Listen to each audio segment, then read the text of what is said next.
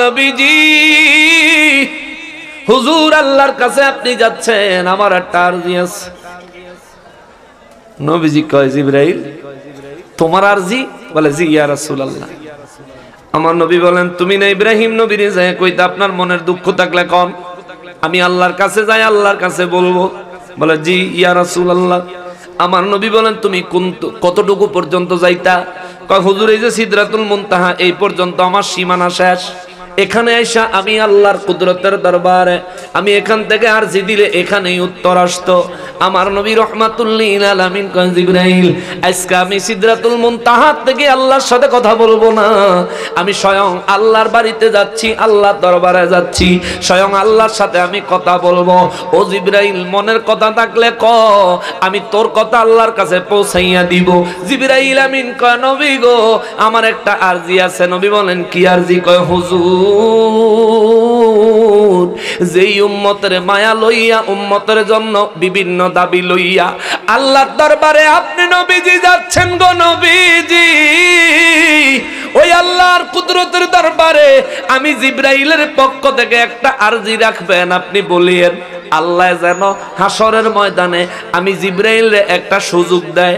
নবী কয়, কি সুযোগ? কয়, হুজুর, আপনি যে উম্মতের মায়ায় কান্দেন, আপনার উম্মতের মধ্যে যারা বেশি বেশি পরিমাণে দুরুদ শরীফ পড়ে নেওয়ালা গো নবীজি, আপনার দুরুদ পড়া উম্মতগুলার জন্য হাসরের ময়দানে মিজানে নয় হাসরের ময়দানে পুলসেরাতের উপরে যে পুলসেরাতটা চুলের থেকেও, চিকন হীরার থেকেও দাঁড়াল। তিরিশ হাজার বছরের সমান লম্বা রাস্তা। ওই পুলসেরাতের পোলের উপরে আমি জিব্রাইলের ছয়শো নূরের পাখা বিছাইয়া দিব। আপনার দুরুদ সালাম পড়নেওয়ালা উম্মতেরা আরামে পুলসেরাত পার হইয়া যাবে। সুবহানাল্লাহ। খেয়াল করেন আয়াতের অর্ধেক। আল্লাহ বলেন লা ইয়ামলিকুনা শাফাআতা। কেউ শাফাআত করতে পারবে না। ইল্লা মান ইত্তাখাযা ইনদার রহমানি আহদা। শুধুমাত্র আমি আল্লাহ যাদেরকে সাফাত করার ক্ষমতা দিব বলে ওয়াদা করেছি, তারা ব্যতীত অন্য কেউ সুপারিশ করতে পারবে না। জোরে কন্যা সুবহানাল্লাহ। প্রথম অংশে আল্লাহ বললেন কেউ সুপারিশ করতে পারবে না। বাতিলেরা এইটুকু গ্রহণ করে। আয়াতের অর্ধেক, ভাই, অর্ধেক, কথার অর্ধেক। সুর এডিল দলিল সুর, হাদিস সুর, কথা কোন ঠিক কিনা? রব্বুল আলামিন সূরা মারিয়ামের 87 নম্বর আয়াতে কারিমায় আমার আল্লাহ বলেন কেউ সাফাত করতে পারবে না, কেউ সুপারিশ করতে পারবে না। এর পরের অংশে বলেন, ইল্লা রহমানি আহদা। পরের অংশে আল্লাহ কয়, আমি আল্লাহ যাদেরকে সাফাত করার ক্ষমতা দিব বলে ওয়াদা করেছি তারা ব্যতীত অন্য কেউ সাফাত করতে পারবে না। বোঝা যায় আল্লাহর কথায়, এই পৃথিবীতে এমন কিছু বান্দা, এমন কিছু বান্দি আছে রে, যারা হাসরের ময়দানে সুপারিশ করতে পারবে। এমন ওয়াদা আমার আল্লাহ দিয়েছে। জোরে বলেন, সুবহানাল্লাহ। আল্লাহ কোনোদিন ডুপ্লিকেট কথা বলেন। কোনদিন মিথ্যে কথা বলেন। আল্লাহর কোন কথার কোন পরিবর্তন আছে? সূরা ইউনুসে আল্লাহ কয় আমি আল্লাহ যা বলি তাই সত্য, যা বলেছি তাই বিধান। আমার কথার কোনো পরিবর্তন নাই। ওই রব্বুল আলামিন, সূরা মারিয়ামের 87 নম্বর আয়াতে আল্লাহ কয়, আমি যাদেরকে ওয়াদা করেছি, কেবলমাত্র তারা ছাড়া অন্য কেউ সাফাত করতে পারবে না। নূর নবী রহমাতুল্লিল আলামিন, আমার দয়াল নবী রহমাতুল্লিল আলামিনকে সাহাবায়ে কেরাম বলেন, হুজুর, নবী গো আল্লাহ কারে কারে সাফাত করার পারমিশন দিল। ইয়া রাসূল আল্লাহ আপনাকে আল্লাহ সাফাতের পারমিশন দিছে নিগো নবীজি। আমার নূর নবী রহমাতুল্লিল আলামিন মুসলিম শরীফের প্রথম খণ্ড একশো তেরো পৃষ্ঠা একশো নিরানব্বই নাম্বার হাদিস। কোট করেন, মুখস্থ করেন, নাইলে মোবাইলে রেকর্ড করেন, নাইলে লেখা লন।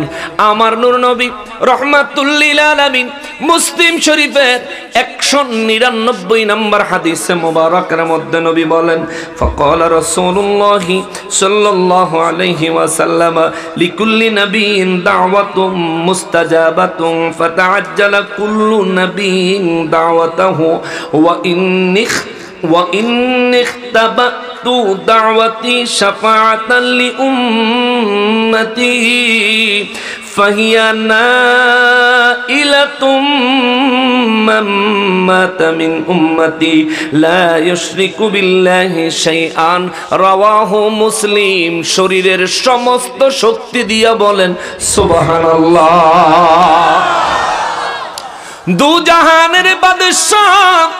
রহমাতুল্লিল আলামিন আমার নূর নবীজি কয়, এ সাহাবীরা রে, এরে সাহাবীরা, আমি রহমাতুল্লিল আলামিন রে, আমার আল্লাহ একটা সুযোগ দিছে, দোয়া করতাম। সমস্ত নবীদেরকে সমস্ত নবীদেরকে আল্লাহ স্পেশাল একটা সুযোগ দিছে। সব নবীদেরকে আল্লাহ বলছেন, আপনারা দোয়া করেন যে কোনো একটা দোয়া করবেন। আমি আল্লাহ কবুল করব, ওয়াদা দিলাম। সব নবীরা নিজেদের জন্য দোয়া করছেন। সব নবীরা নিজেদের জন্য দোয়া করছেন। সমস্ত নবীরা নিজেদের জন্য দোয়া করছেন। একই অফার একই প্রস্তাব। আমার আল্লাহ যখন আমি নবীরে দিল, নবী গো, আপনিও একটা দোয়া করেন। আপনার এই দোয়াটা আমি আল্লাহ কবুল করব। আমার নূর নবী রহমাতুল্লিল আলামিন বলেন, সাহাবীরা রে, সব নবীরা নিজেদের জন্য দোয়া করছে রে। আর আমি নবী রহমাতুল্লিল আলামিন, আল্লাহ যখন আমার সুযোগ দিছে, আমি আল্লাহরে বলছি, মালিক আমার গুনাগার উম্মতগুলার সাফাত করার ক্ষমতা আমাকে দিয়ে দাও।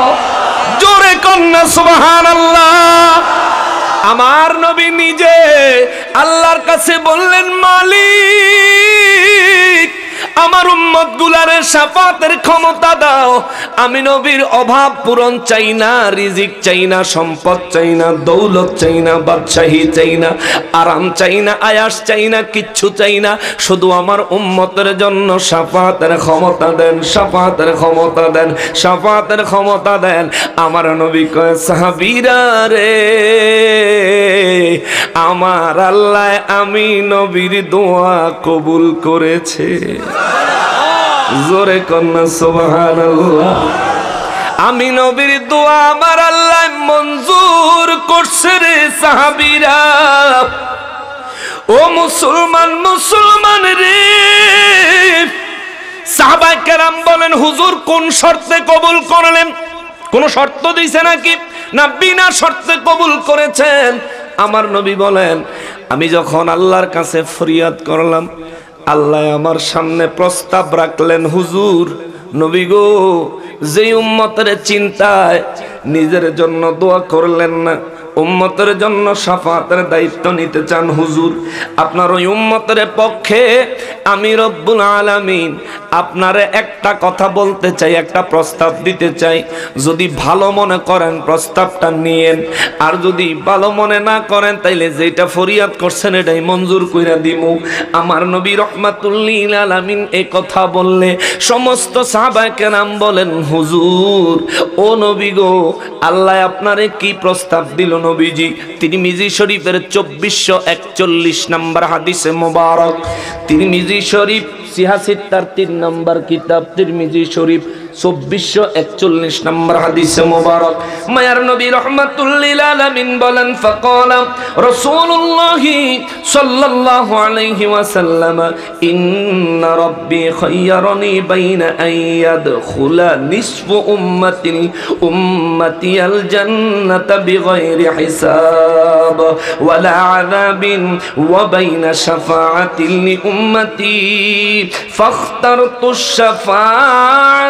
রাওয়াহু তিরমিজি জবান খুইলা কন, সুবহানাল্লাহ। নবী আমার দু জাহানের বাদশাহ। রহমাতুল্লিল আলামিন কয়, মালিক, আমার উম্মতের সাফাতের ক্ষমতা আমারে দাও। আল্লাহ কয়, হুজুর শাফাতের ক্ষমতা দিব, তবে আমার একটা প্রস্তাব। আপনি যদি শাফাতের ক্ষমতা না নেন তাইলে আমি আল্লাহ প্রস্তাব দিলাম, কেয়ামতের ময়দানে একশো বিশ কাতার মানুষ হবে। একশো বিশ কাতারের মধ্যে আদম নবী থেকে শুরু করে আমার নবী পর্যন্ত সমস্ত নবীরা, সমস্ত নবীদের উম্মতেরা, কাফের, বেঈমান, মুশরিক, মুনাফেক সব থাকবে। ইয়া রাসূলুল্লাহ, ওই হাসরের ময়দানে আপনি নবীর উম্মতের সংখ্যা হবে আশি কাতার। জোরে কন্যা সোহান আদম নবী থেকে শুরু করে আইসা রহল্লা পর্যন্ত এক লক্ষ তেইশ হাজার নয়শো নিরানব্বই জন নবীর উম্মত কাফের বেঈমান মুনাফিক ইবলিস সব মিলাইয়া চল্লিশ কাতার। আর আমার নবীর উম্মত আশি আমার নবী বলেন, আল্লাহ মানে প্রস্তাব দিলেন হুজুর। নবী গো, আপনি যদি সাফাতের দায়িত্ব না নেন, তাইলে আমি আল্লাহ আপনি নবীর উম্মতের জন্য একটা ওয়াদা করতে পারি। আমার নবী বলেন, আল্লাহ কি ওয়াদা করবেন? রব্বুল আলামিন নবী গো, আপনার উম্মতের মধ্যে সমস্ত উম্মত যখন হাসরের ময়দানে দাঁড়াবে আশি কাতার আপনার উম্মত হবে। আমি আল্লাহ ওয়াদা দিব। আপনার আশি কাতার উম্মতের মধ্যে চল্লিশ কাতার উম্মতের বিনা হিসাবে, বিনা যাবে আমি আল্লাহ জান্নাতে পাঠাইয়া দিব। আল্লাহ নবী আমার রহমাতুল্লিল আলামিনের আমার আল্লাহ এই প্রস্তাব করলে আমার নবীজি দুই চক্ষু মোবারকের পানি মোবারক ছেড়ে ছেড়ে কান্না শুরু করে দিলেন। আল্লাহ বলেন, হুজুর, কান্দেন কেন? আমার নবীজির কান্নার স্পিরিট আরও বাড়ে। জিবিরা ইলামিনাই সাকয় নবী গো, আল্লাহ জানতে চায় আপনি কান্দেন কেন? কান্দেন কেন? ও বাবা, আমার নবী কেন কান্দে? আল্লাহ জানেনি। জানেনি? মনের খবর সবার আগে জানে কে? যা আমরা চিন্তা করি তাও জানে কে? যা আমরা কাজে পরিণত করি তাও জানে কে? প্রকাশ্যে হোক, গোপনে হোক, বাড়িতে হোক, গাড়িতে হোক, বাজারে হোক, আর যেখানেই হোক না কেন, আমরা যেখানে যাই করি, সমস্ত কিছু দেখেন কে? সমস্ত ব্যাপার শোনেন কে? সমস্ত বিষয়ে সব জায়গায় সমানভাবে উপস্থিত থাকেন কে? রব্বুল আলামিন জানা সত্ত্বেও আমার নূর নবী রহমাতুল্লিল আলামিনের আমার আল্লাহ জিব্রাইল আমিনের দিয়া খবর পাঠায়, জিজ্ঞেস করে, জিব্রাইল রে, আমার বন্ধুরে জিজ্ঞেস কর, এত বড় প্রস্তাব আমি পাঠাইলাম। আশি কাতারের মধ্যে চল্লিশ কাতার বিনা হিসাবে, বিনা আজাবে আল্লাহ আকবর! এ মিয়া সাহেব, আমাদের হিসাব যদি আল্লাহ নেয়, উপায় আছে? উপায় আছে? চেয়ারম্যান সাহেবরে স্যার, আর কেউ রে চা দিয়েন না। স্টেজে খাওয়া দাওয়া বন্ধ, উঠা বসা বন্ধ। যারা আছেন একদম রোবটের মতো বই থাকবেন। ঠিক আছে? আপনারা আলোচনা চলতেছে, ওয়াজ আপনারা শুনবেন। আপনারা নড়লে চললে আর সব মনোযোগ নষ্ট হয়ে যায়। ঠিক না, বাজান? আপনার চা খান। ঠান্ডা হয়ে যাব পোকা পড়ব। আপনারা বাদ দিয়ে লইছি তো। চেয়ারম্যান সব মানুষ। দিয়াই যখন লাইছে হ্যাঁ? তাইলে খান। এরপরে আর দিয়েন না। আর বেশি করে চা বানায় তখন একটা বড় মটকাত করে মাহফিল শেষ হলে সবাই চা খাওয়াবে। চা, সিগারেট, পান। এগুলি এমন এক খাওন, একজনের খাইতে দেখলে আরেকজনের খাইতে মন চায়। ঠিক ঠিক না? আমরা অভ্যস্ত। তো এই জন্য মাহফিলের ভিতরে আমি এই ব্যাপারটা খুব কেয়ারফুল থাকি। আমি নিজেও মাহফিলে চা খাই না। বেশি সমস্যা হইলে একটু গরম পানি লগে লই আই, ওইটুকু খাই। আর নাইলে এই যে পানি দিয়ে চালাই দিই। আইয়া কিন্তু ডাইরেক্ট স্টেজে উঠছি। সারা রাস্তা গাড়ি আমি নিজে চালাই আইছি। আইয়া স্টেজে উঠছি, একটু পানি খাইছি। আপনাদের যদি কষ্ট না হয়, আমি সামনে কথা বলব। কষ্ট হবে না তো? নবীজির সাফাত। আমার নবীজির সাফাত ছাড়া এমন কোন ব্যক্তি আছেন, জান্নাতে যাইবেন? যাইতে পারবেন? একজন থাকলে একটু হাত উঠান যে, হুজুর, আমি যাইতে পারব নবীজির সাফাত ছাড়া। কে আছেন? আবার আছেন? আরে আদম নবীর থেকে ঈসা নবী পর্যন্ত সব নবীরা আমার নবীর সাফাতের আশায় আমার নবীর কদম মোবারকের নিচে আইসা দাঁড়াবে। এখন আমাদের দেশে যারা নবীর সাফাত মানে না, হেরা করবে হ্যাঁ এই এই যে আর খবর কইল মিশা কথা। কি মিশা কথা? ওই যে নবীজির কদমের নিচে আইসা সব নবীরা দাঁড়াইব, এইটা কেমন কথা? তো তারে বলব, যদি কোরআন হাদিস না জানো, তাইলে পড়ালেখা করো।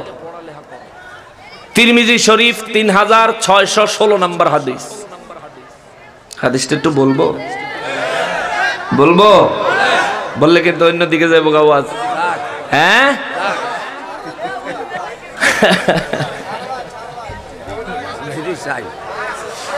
নূর নবী রহমাতুল্লিল আলামিনের অনেকগুলো সাহাবি একদিন এক জায়গায় বসে হঠাৎ করে নবীদের মর্যাদা, মর্তবা সম্পর্কে আলোচনা করতে শুরু করলেন। আমার নূর নবী রহমাতুল্লিল আলামিন তাদের দিকে অগ্রসর মোবারক হচ্ছিলেন। হজরতে আব্দুল্লাহ ইবনে আব্বাস বলেন, আমি দেখলাম আমার নূর নবীজিকে দেখা যায়, তিনি তো তশরিফ আনতেছেন। এইদিকে সাহাবায়ে কেরাম বসলেন একজন সাহাবি বলে উঠলেন, আদম নবীর কত শান। আদম নবীরে আমার আল্লাহ সফিউল্লাহ বানাইছে। আরেকজন সাহাবি বললেন মুসানবীর কত শান। মুসা নবীরে আল্লাহ কালিমুল্লাহ বানাইছে। মুসা নবীর সাথে আমার আল্লাহ কথা বলছেন। আরেকজন বলে উঠলেন, ইব্রাহিম নবীর কত শান। ইব্রাহিম নবীরে আমার আল্লাহ খলিলুল্লাহ বানাইছে। চিৎকার দিয়া কন, সুবহানাল্লাহ। আরেকজনে বলে উঠলেন, ঈসা নবীর মর্যাদা কত দেখো। তারে আল্লাহ রুহুল্লাহ বানাইছে। ঈসা নবীর মর্যাদা কত দেখো? ঈসা নবী শিশু থাকতে তার জবানে আল্লাহ এক কথা বলাইছে সুবহান ঈসা নবীর আম্মাজান ঈসা নবীকে পিতা ছাড়া যখন প্রসব করলেন, সারা এলাকায় গুঞ্জন শুরু হয়ে গেল, রাজদরবারে বিচার দেওয়া হলো। এ মরিয়ম এ মরিয়ম নিশ্চয় কোনো উল্টা পাল্টা কাজ করছে, নাইলে তার গর্বে বাচ্চা আসে থেকে বাচ্চা ডেলিভারি হয় কেমনে? এ কথা বললে হজরতে মরিয়ম আলাইহিসালাম চিন্তায়, ভয়ে বিবর কাতর হইয়া যায়। রাজদরবারে বাচ্চা নিয়ে হাজির হলে বিচার যখন করবে হজরতে মরিয়ম আলাইহিসালামের জিজ্ঞেস করে, মরিয়ম গো, বলো বাচ্চা কই পাইছ? বলো বাচ্চা কই পাইছ? মরিয়ম আলাইহিসালাম অনেকক্ষণ ধরে কিচ্ছু বলেন না, কিছুক্ষণ পরে, অনেকক্ষণ পরে তিনি একটা কথা বললেন। বাচ্চা থেকে পাইছি, তার মানে কি জানতে চান? বলে, বাচ্চার বাবাকে। মরিয়ম সালাম বলেন, বাচ্চার বাবাকে আমি বলব না, বাচ্চা নিজেই বলবে, জোরে কন্যা সুবহানাল্লাহ। ঈসা আলাইহিস সালাম মাত্র ছোট্ট শিশু। ঈসা সালাম ছোট্ট শিশু কোলের থেকে বললেন আনা রুহুল্লাহ। আমি আল্লাহর প্রেরিত রুহু, পিতা লাগে না। আমার আল্লাহ পিতা ছাড়া আমারে পাঠাইয়া তোমাদেরকে দেখাইছে। আমার আল্লাহ এমন সৃষ্টিকর্তারে চাইলে পিতার মাধ্যমে সন্তান দুনিয়ায় পাঠাইতে পারে, চাইলে পিতা ছাড়াও দুনিয়ায় সন্তান পাঠাইতে পারে। তার বাস্তব প্রমাণ হইলাম আমি। ঈসা, জোরে কন্যা সুবহানাল্লাহ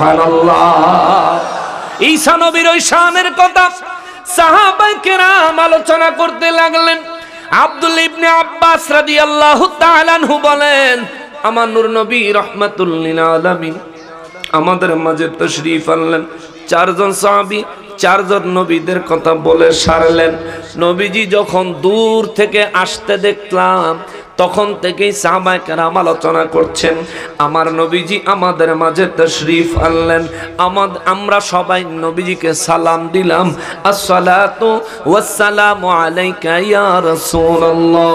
আমার নবী রহমাতুল লিল আলামিন সালামের জবাব দিলেন। দেওয়ার পর নবীজি বললেন, সাহাবীরা, শোনো, তোমরা যে বলেছ, আদম নবীর আল্লাহ সফিউল্লাহ বানাইছে ঠিক বলেছ। তোমরা যে বলছো, মুসা নবীর আল্লাহ কালিমুল্লাহ বানাইছে, ঠিক বলেছ। তোমরা যে বললা, ইব্রাহিম নবীরে আল্লাহ খলিলুল্লাহ বানাইছে তাও সত্য বলেছ। তোমরা যে বললা, ঈসা নবীরে আল্লাহ রুহুল্লাহ বানাইছে তাও সত্য। কিন্তু নবী কয়, আলাপ খবরদার রে সাবধান। ওয়ানা হাবিবুল্লাহ আমি হইলাম আল্লাহর হাবিব। জুরে কনসুবাহান সুবহানাল্লাহ। সাহাবায়ে আদম নবীর প্রশংসা করলেন, আমার নবী সমর্থন করলেন, মুসা নবীর প্রশংসা করলেন, আমার নবী সমর্থন করলেন, ইব্রাহিম নবীর প্রশংসা করলেন, আমার নবীজি সমর্থন করলেন, ঈসা নবীর প্রশংসা করলেন, আমার নবী সমর্থন করলেন। বোঝা যায় নবীদের আলোচনা করা আল্লাহ এবং তার রসুলের পছন্দের কাজ।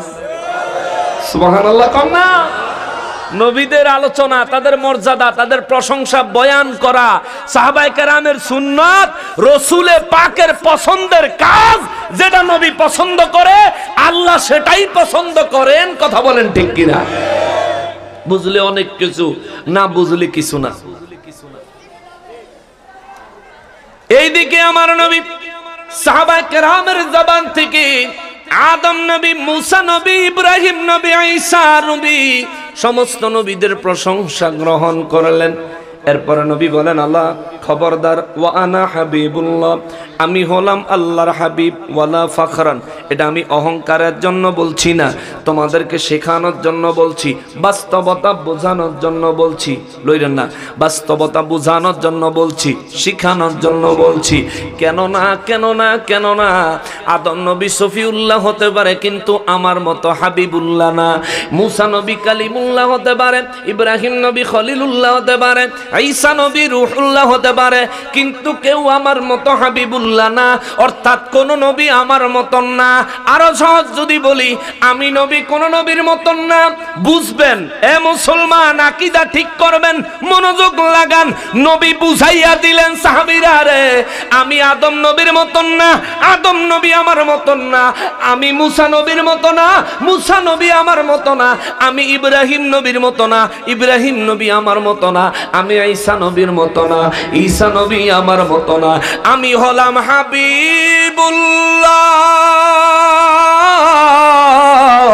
এই মর্যাদা আমার আল্লাহ কাউকে দেয় নাই। সুবহানাল্লাহ। নারে তাকবীর। নারে রিসালাত হযরত মাওলানা হাসানুর রহমান হুসাইন নকশবন্দি সাহেব। মুসলমান খেয়াল করেন। আমার নবী চ্যালেঞ্জ করলেন। আলা খবরদার। ওয়া আনা হাবিবুল্লাহ। আমি আল্লাহর হাবিব বুঝায় দিলেন, আমার নবী আদম নবীর মতো, আদম নবী আমার নবীর মতো, মুসা নবী, ঈসা নবী, ইব্রাহিম নবী, কেউ আমার নবীর মতো, কথা কন্যাকা, কেউ আমার নবীর মতো, কেউ আমার নবীর মতো, আমার নবী কাহার মতন তাইলে আমাগো সমাজ মোল্লারা যেন কয়, হেতে বেলে নবীর মতো, নবী বেলে তার মতো এই ফাদাম দামার ইমান আছে নি কথা কোন আছে? আদম নবীর কথা নবী বলেন, ওয়ানা হাবিবুল্লাহ। আমি আল্লাহর হাবিব। আমার সাথে আদম নবীর তুলনা চলবে না। ঈসা নবীর, মুসা নবীর, ইব্রাহিম নবী, শ্রেষ্ঠ শ্রেষ্ঠ রসুলদের কোন ধরনের উদাহরণ আমি নবীর সাথে চলবে না চলবে না চলবে না।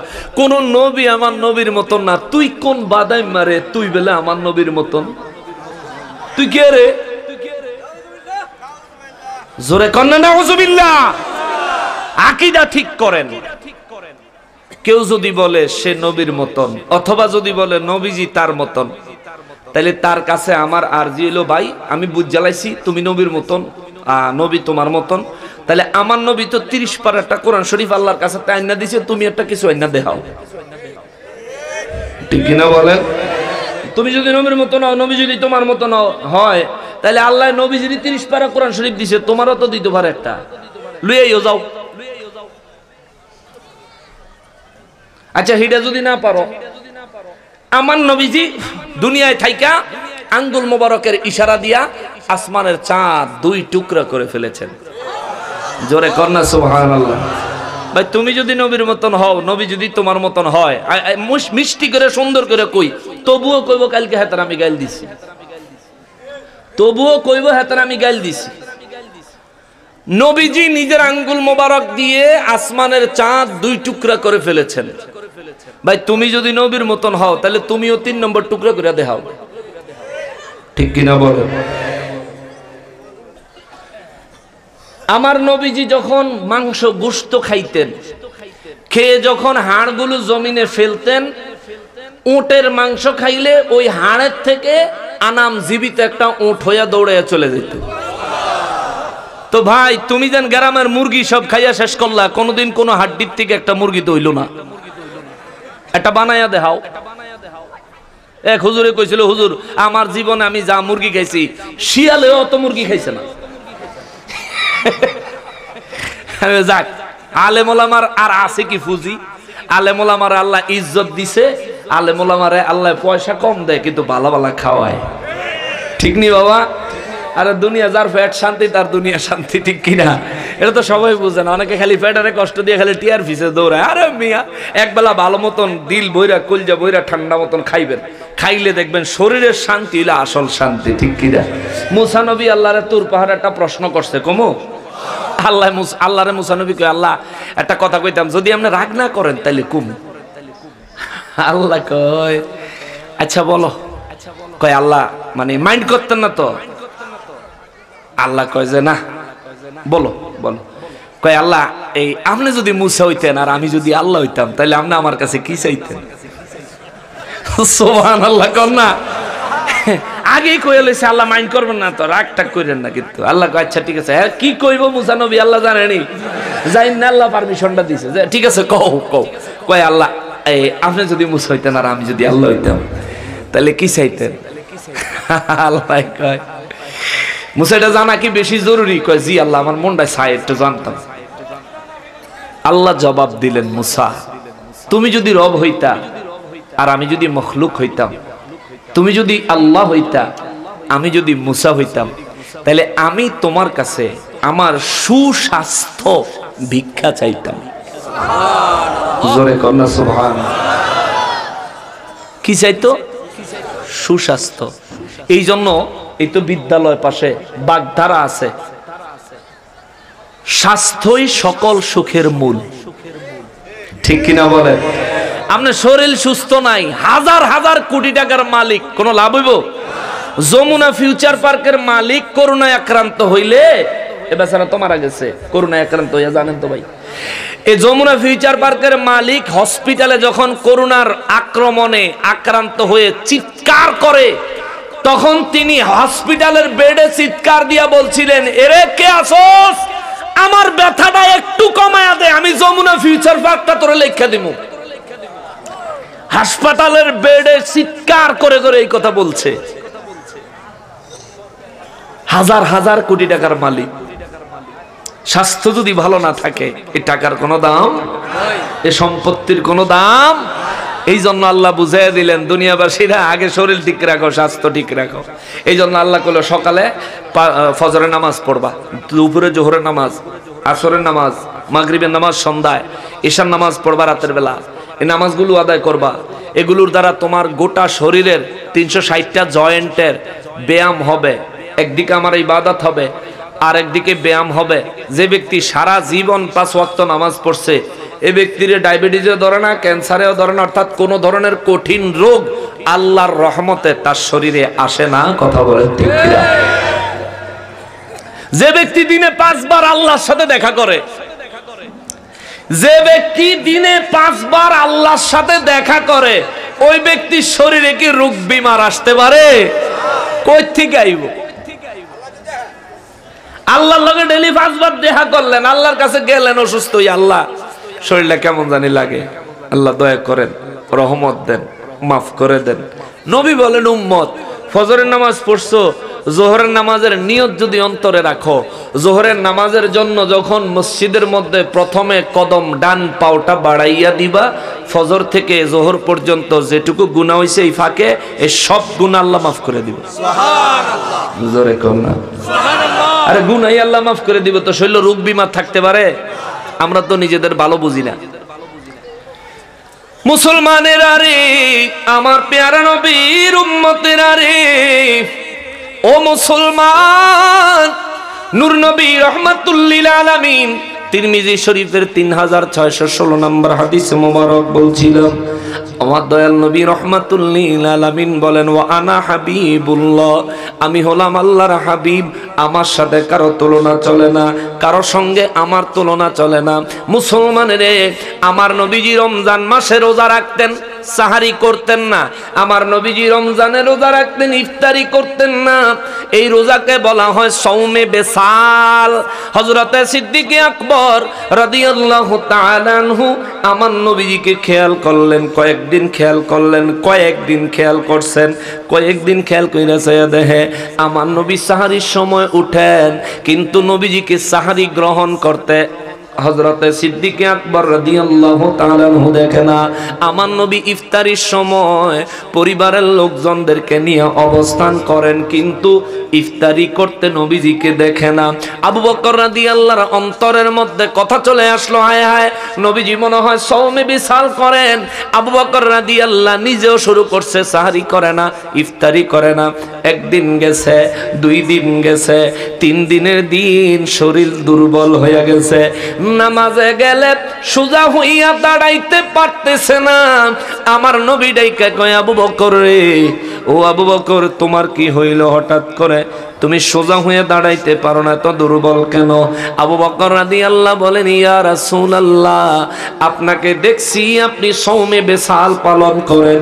আমিও সৌমে বেসাল আজকে তিন দিন ধরে পালন করতেছি। চিৎকার দিয়া কন, সুবহানাল্লাহ। নবী আমার রহমাতুল্লিল আলামিন আবু বকর রাদিয়াল্লাহু তাআলা আনহুর এমন আমলের কথা শুনে আমার নবী খুশি হন নাই। নবীজির সঙ্গে সঙ্গে বললেন, ইয়া আবা বকর, আইয়ুকুম মিসলি। আরে আবু বকর, তোমাদের মধ্যে আমার মতো কেউ আসেনি সুবহানাল্লাহ। জোরে না, সুবহানাল্লাহ। ডাইরেক্ট নবী চ্যালেঞ্জ করে বলেন, আইয়ুকুম মিসলি? এ, আমার মতন কেউ আছো? এ, আবু বকর, তুমি কি আমার মতন? আবু বকর রাদিয়াল্লাহু তাআলা আনহু। আমার নূর নবীজির কদম মোবারকের দিকে তাকায়া ক্ষমা চায়া কয়, হুজুর বিয়া তুমি মাফ করবেন। আমরা কেউ আপনার মতো না, আপনি নবী কাহারও মতন না। আপনার মতো কোনো সৃষ্টি আল্লাহ বানায় নাই। আপনার মর্যাদা দিয়া কাউরে আল্লাহ বানান নাই। আপনি হলেন আল্লাহর হাবিব, আল্লাহর বন্ধু, আপনার মতো কেউ নাই। দেখেন, আবু বকর রাদিয়াল্লাহ কয়, হুজুর, আপনার মতন কেউ নাই। আপনার সমাজের ইমাম সাহেব কয়, হুজুরে নবীর মতন, নবী হুজুরের মতন। এই ইমাম সাহেব কি আবু বকর রাদিয়াল্লাহু তাআলা আনহুর আকীদার উপরে আছে? আছে? আছে? এ হুজুরের আকীদা কার মতন? মুমিনুন খুলেন মুমিনুন 34 নাম্বার আয়াত। আমার আল্লাহ কয়, কাফেরদের মধ্যে বড় বড় কাফেরগুলা কইতো, নবী তো আমাদের মতন। দেখো না, তিনি খায়, তিনি পান করে, বিয়ে করছে, বাচ্চা আছে। কাফেরেরা নবীরে কইতো, নবী নাকি তাদের মতন? এখনকার সময় আমাদের সমাজের ইমাম সাহেব, খতিব সাহেবেরা কয়, নবী বেলে হুজুরের মতন। ও ভাই, এবার আপনি কোন, তারে কি কইতাম? এইটা পাঞ্জাবি টুপি যতই থাকুক না কেন, ডিগ্রি যত বস্তা সার্টিফিকেট থাকুক না কেন, তার চরিত্র, তার কথায় বোঝা যায়, এটা হলো বড় ধরনের কাফে সুরা মুমিনুন 34 নম্বর আয়াত। খুললা দেখেন, এখন বাংলা অনুবাদের কোরআন শরীফ ঘরে ঘরে পাওয়া যায়। বাজারে পাবেন, দোকানে পাবেন। আরে টাকা দিয়া কিনুন লাগতো না। যুবক ছেলেরা অ্যান্ড্রয়েড ফোন চালাও তো। তুমি অ্যান্ড্রয়েড মোবাইলের মধ্যে দেখো বাংলা অনুবাদটা এখন চাইলে এখন দেখো। নবীজিরে আমার মতন কোন মুসলমান কয় নাই। নবীজিকে আমার মতন বলতো কাফেরেরা। এখনও যারা নবীকে আমার মতো বলে, তাদেরও ঈমান থাকবে না, বেঈমান হয়ে যাবে, ঠিক কিনা বলেন? সাহাবীদেরকে নবীজি চ্যালেঞ্জ করে না ইউকুম মিসলি, শোনেন বাবাজি, হযরতে আম্মা আয়েশা সিদ্দিকা রাদিয়াল্লাহু তাআলা আনহারে আমার নবীজি রহমাতুল্লিল আলামিন কয়, আয়েশা ও এসা। বলে, জি ইয়া রাসূলুল্লাহ।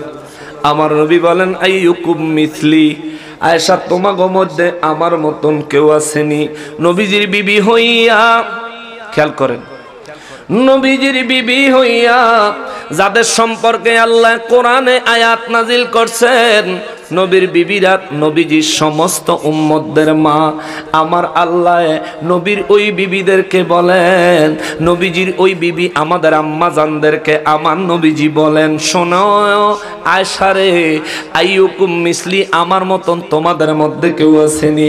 আম্মা জান আয়সা সিদ্দিকারা দিয়ে আল্লাহ তালানহা বলেন, না গো ইয়া রাসূলুল্লাহ, আপনার মতন কেউ নাই, আল্লাহ আপনার মতো কাউরে বানাই নাই।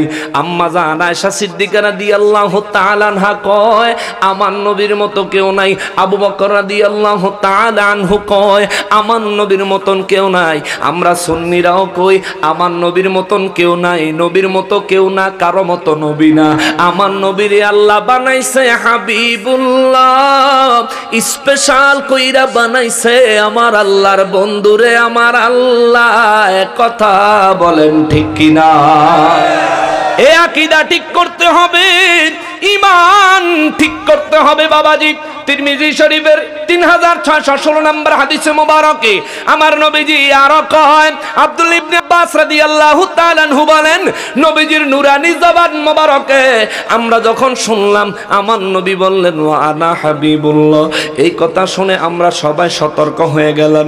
পরবর্তীতে যখন ওই অন্যান্য নবীদের শান, মান, মর্যাদা বর্ণনা করতাম, সাথে সাথে আমার নবীর শান, মান, মর্যাদাও আমরা বর্ণনা করতাম। হজরতে জাবের রাদিয়াল্লাহু তাআলাহু বলেন, আমার নবীজির নবীজির পবিত্র মিলাদ মোবারকের আলোচনা একদিন আমি আমার ঘরের মধ্যে করতেছিলাম বাচ্চাদেরকে লইয়া।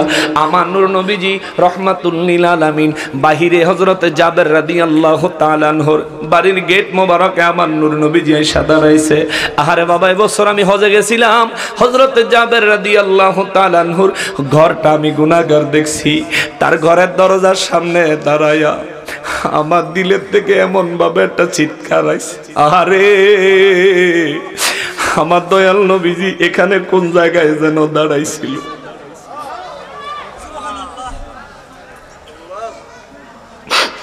কোন জায়গায় যেন আমার নবীজি দাঁড়ায় দাঁড়ায়?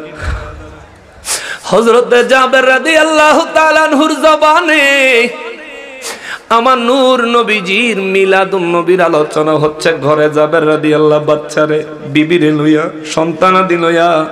আমার নবীজির মিলাদুন নবীর বয়ান করতেছেন, আমার নবীজি ঘরের বাইরে দাঁড়ায় রয়েছে কিছুক্ষণ বয়ান করার পরে হজরতে জাবের রাদি আল্লাহ তালানহুর সঙ্গে সঙ্গে বয়ানটা থামায়া দিলেন, চুপ হয়ে গেলেন। বিবি কয়, স্বামীরে আমার থামলেন কেন বলেন না? নূর নবীজির মিলাদের বর্ণনা বড় ভালো লাগে। বাচ্চাগুলো কয়, আব্বা গো হো আব্বা, নূর নবীজির মিলাদের কথা বড় ভালো লাগে, বলেন না বলেন না। হজরতে জাবের রাদি আল্লাহ দুই চোখের পানি সাইরা দিয়া কয়, বাবা রে, যেই নবীর মিলাদের আলোচনা করতেছি, আমার দিল সাক্ষী দেয় আমার নূর নবী আমাদের আশেপাশেই আছে। জোরে কন্যা সুবহানাল্লাহ। জাবের রাদি আল্লাহ সালাম দিলেন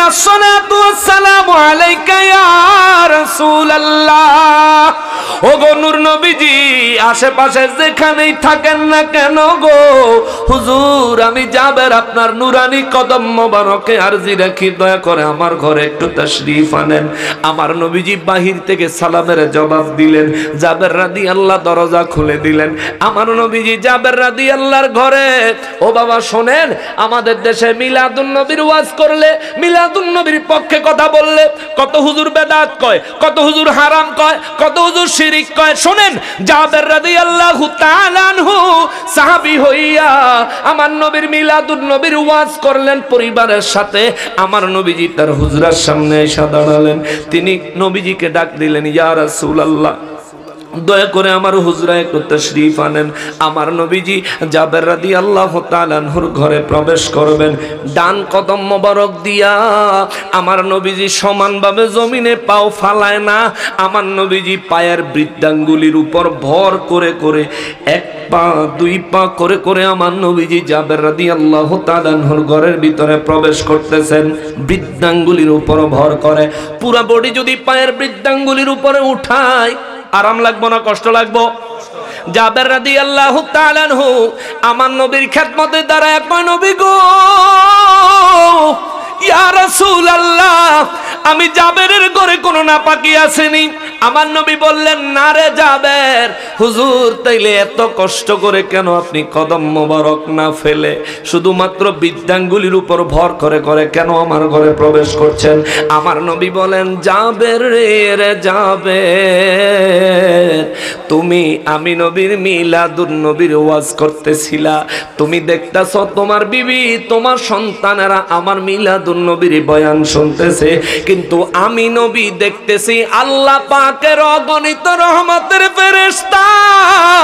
আল্লাহু আকবার। আল্লাহর অগণিত রহমতের ফেরেশতা জাবের তোমার ঘরের কানায় কানায় পূর্ণ হয়ে গেছে। আল্লাহু আকবার। নারে রিসালাত। ইয়া রাসূল। ঈদে মিলাদুন নবী। জিন্দাবাদ জিন্দাবাদ হযরত মাওলানা হাসানুর রহমান হুসাইন নকশবন্দি সাহেব। জিন্দাবাদ জিন্দাবাদ। দুলারামপুরের পক্ষ থেকে লাল গোলাপ শুভেচ্ছা। বাজান। জাবের রাদিয়াল্লাহু নবীজির নবীর ওয়াজ করেন। আর জাবের রাদিয়াল্লাহর ঘর রহমতের ফেরেশতা দিয়ে পরিপূর্ণ হয়ে গেছেন। নবীজি বলেন আমি যে পাও ফালামো আমি নবী যে কদম মোবারক পুরোপুরি রাখব। জায়গা নাই তো যাবের সুবহানাল্লাহ কমা এই জায়গা নাই দেখে আমি নবীজি নিজের বৃদ্ধাঙ্গুলির উপর ভর করে করে আমি সামনে এগোচ্ছি। আমার ওই নূর নবী রহমাতুল্লিল আলামিন, যার শানে ওয়াজ করলে রহমতের ফেরেশতা নাজিল হয়, ওই নবী কি আমার মতো? আমি কি ওই নবীর মতো? ওই নবীর মতো কেউ হতে পারে? ওই নবীর মতো কাউকে আল্লাহ বানায়? বানায়? নবী আমার রহমাতুল্লিল আলামিন। সাহাবীদেরকে ডাইকা কয়, সাহাবীরা রে, ও সাহাবীরা, শোনো আদম নবী, ঈসা নবী, মুসা নবী, ইব্রাহিম নবী, সব নবীদের মর্যাদা ঠিক আছে, কিন্তু আমি হলাম হাবিবুল্লাহ। হুজুর, ইয়া রাসূলুল্লাহ, আদম নবীর লকব হলো সফিউল্লাহ। মনোযোগ দেন, কেন নবী আদম নবীর মতো না? আদম নবী কেন আমার নবীর মতো না? অন্যান্য নবীদের মর্যাদা তুলনা, ওজন কেন আমার নবীর সাথে করা যাবে না? নবীজিকে সাহাবীরা বলেন, হুজুর আদম নবীর আল্লাহ শফিউল্লাহ মর্যাদা দিলেন। মুসা নবীর কালিমুল্লাহ, ঈসা নবীরে রুহুল্লাহ, ইব্রাহিম নবীর খলিলুল্লাহ। ইয়া রাসূলুল্লাহ, আপনাকে দিলেন হাবিবুল্লাহ। এ সব কিছুর মধ্যে হাবিবুল্লাহর মর্তবা কি? হাবিবুল্লাহর মর্যাদা কত? হাবিবুল্লাহর মর্তবা কত? আমার নবী বলেন সাহাবাই কারাম, তাইলে শোনো শোনো রে। সমস্ত সাহাবাই কারাম বলেন, জি ইয়া রাসূলুল্লাহ। আমার নবী বলেন, আমারে আল্লাহ হাবিবুল্লাহ বানাইছে। শোনো শোনো শোনো হাসরের ময়দানে সর্বপ্রথম আমি নবী উঠবো। আমরা সব কবরে, আমরা সব কবরে।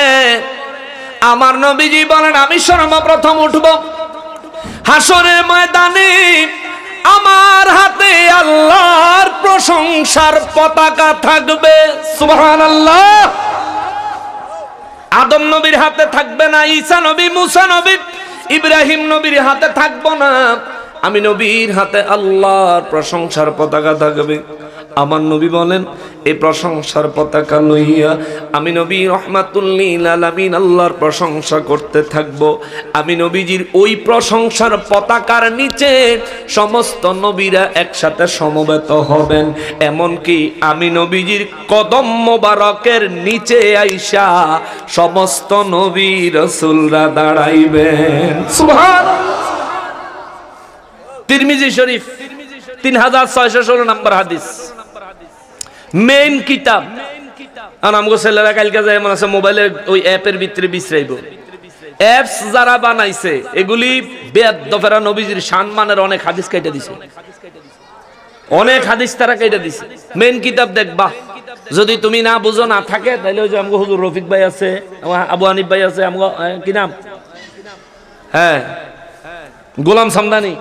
গোলাম সামদানি আছে, বা যারা আলেম আছে, কিতাব পড়তে পারে, যাদের কাছে কিতাব আছে এদের কাছে যাইবেন। আর যদি কেউ না পারে, তাহলে আমার লগে যোগাযোগ করেন, আমি একদিন আইয়া আপনার দেখা দিয়ে যাব ইনশাল্লাহ তিরমিজি শরীফ কিতাব লয়ে মনে।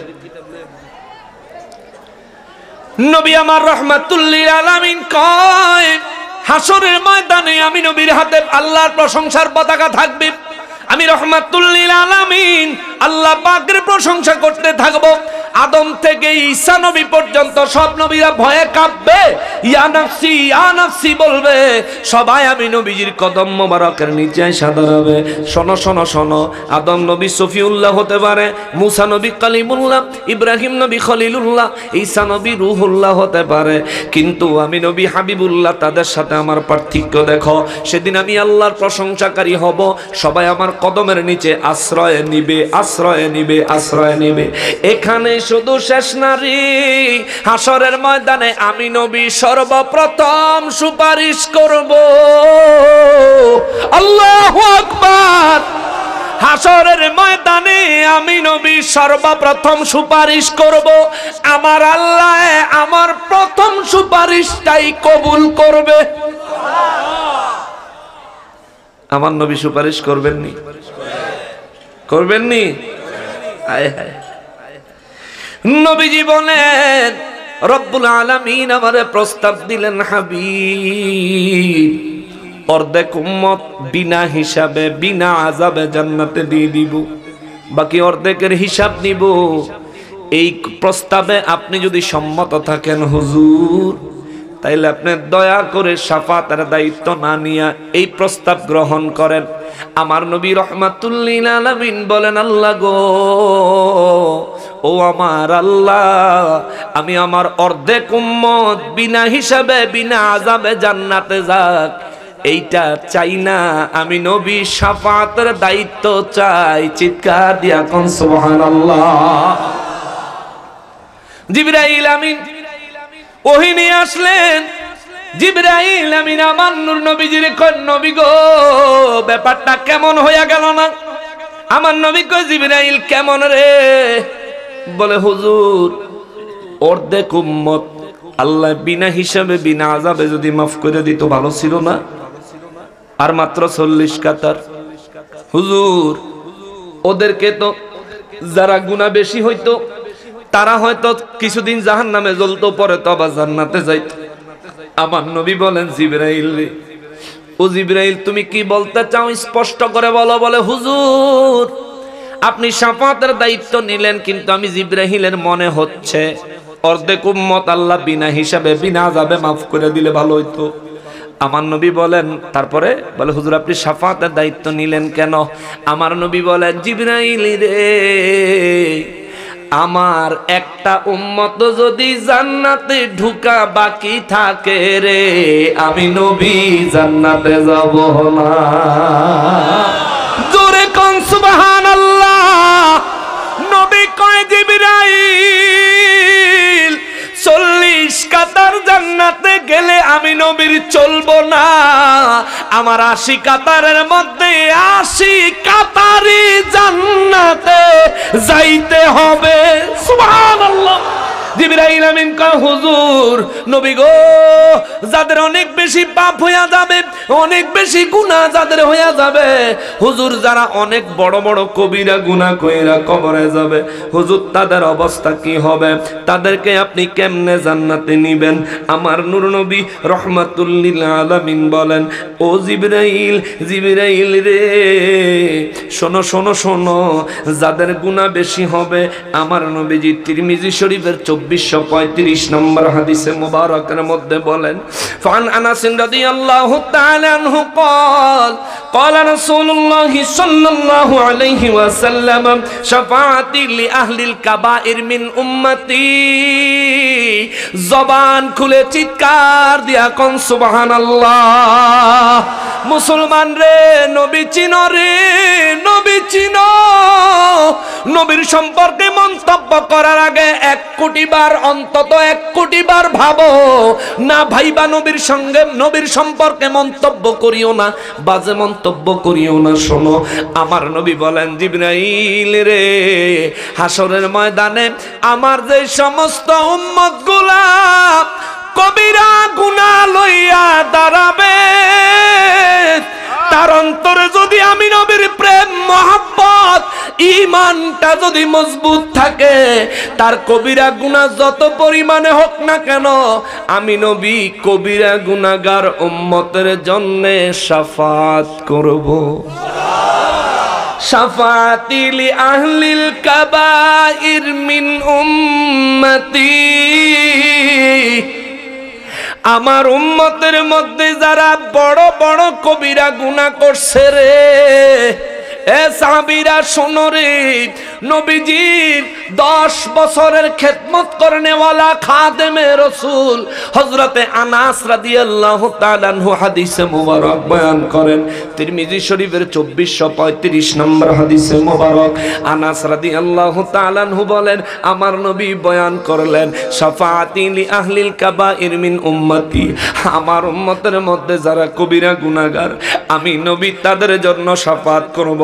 তাদের জন্য শাফাত করব তাদের জন্য শাফাত করব মুসলমানের, এই কথা শুনে আপনাদের কি কষ্ট লাগে না, আনন্দ লাগে?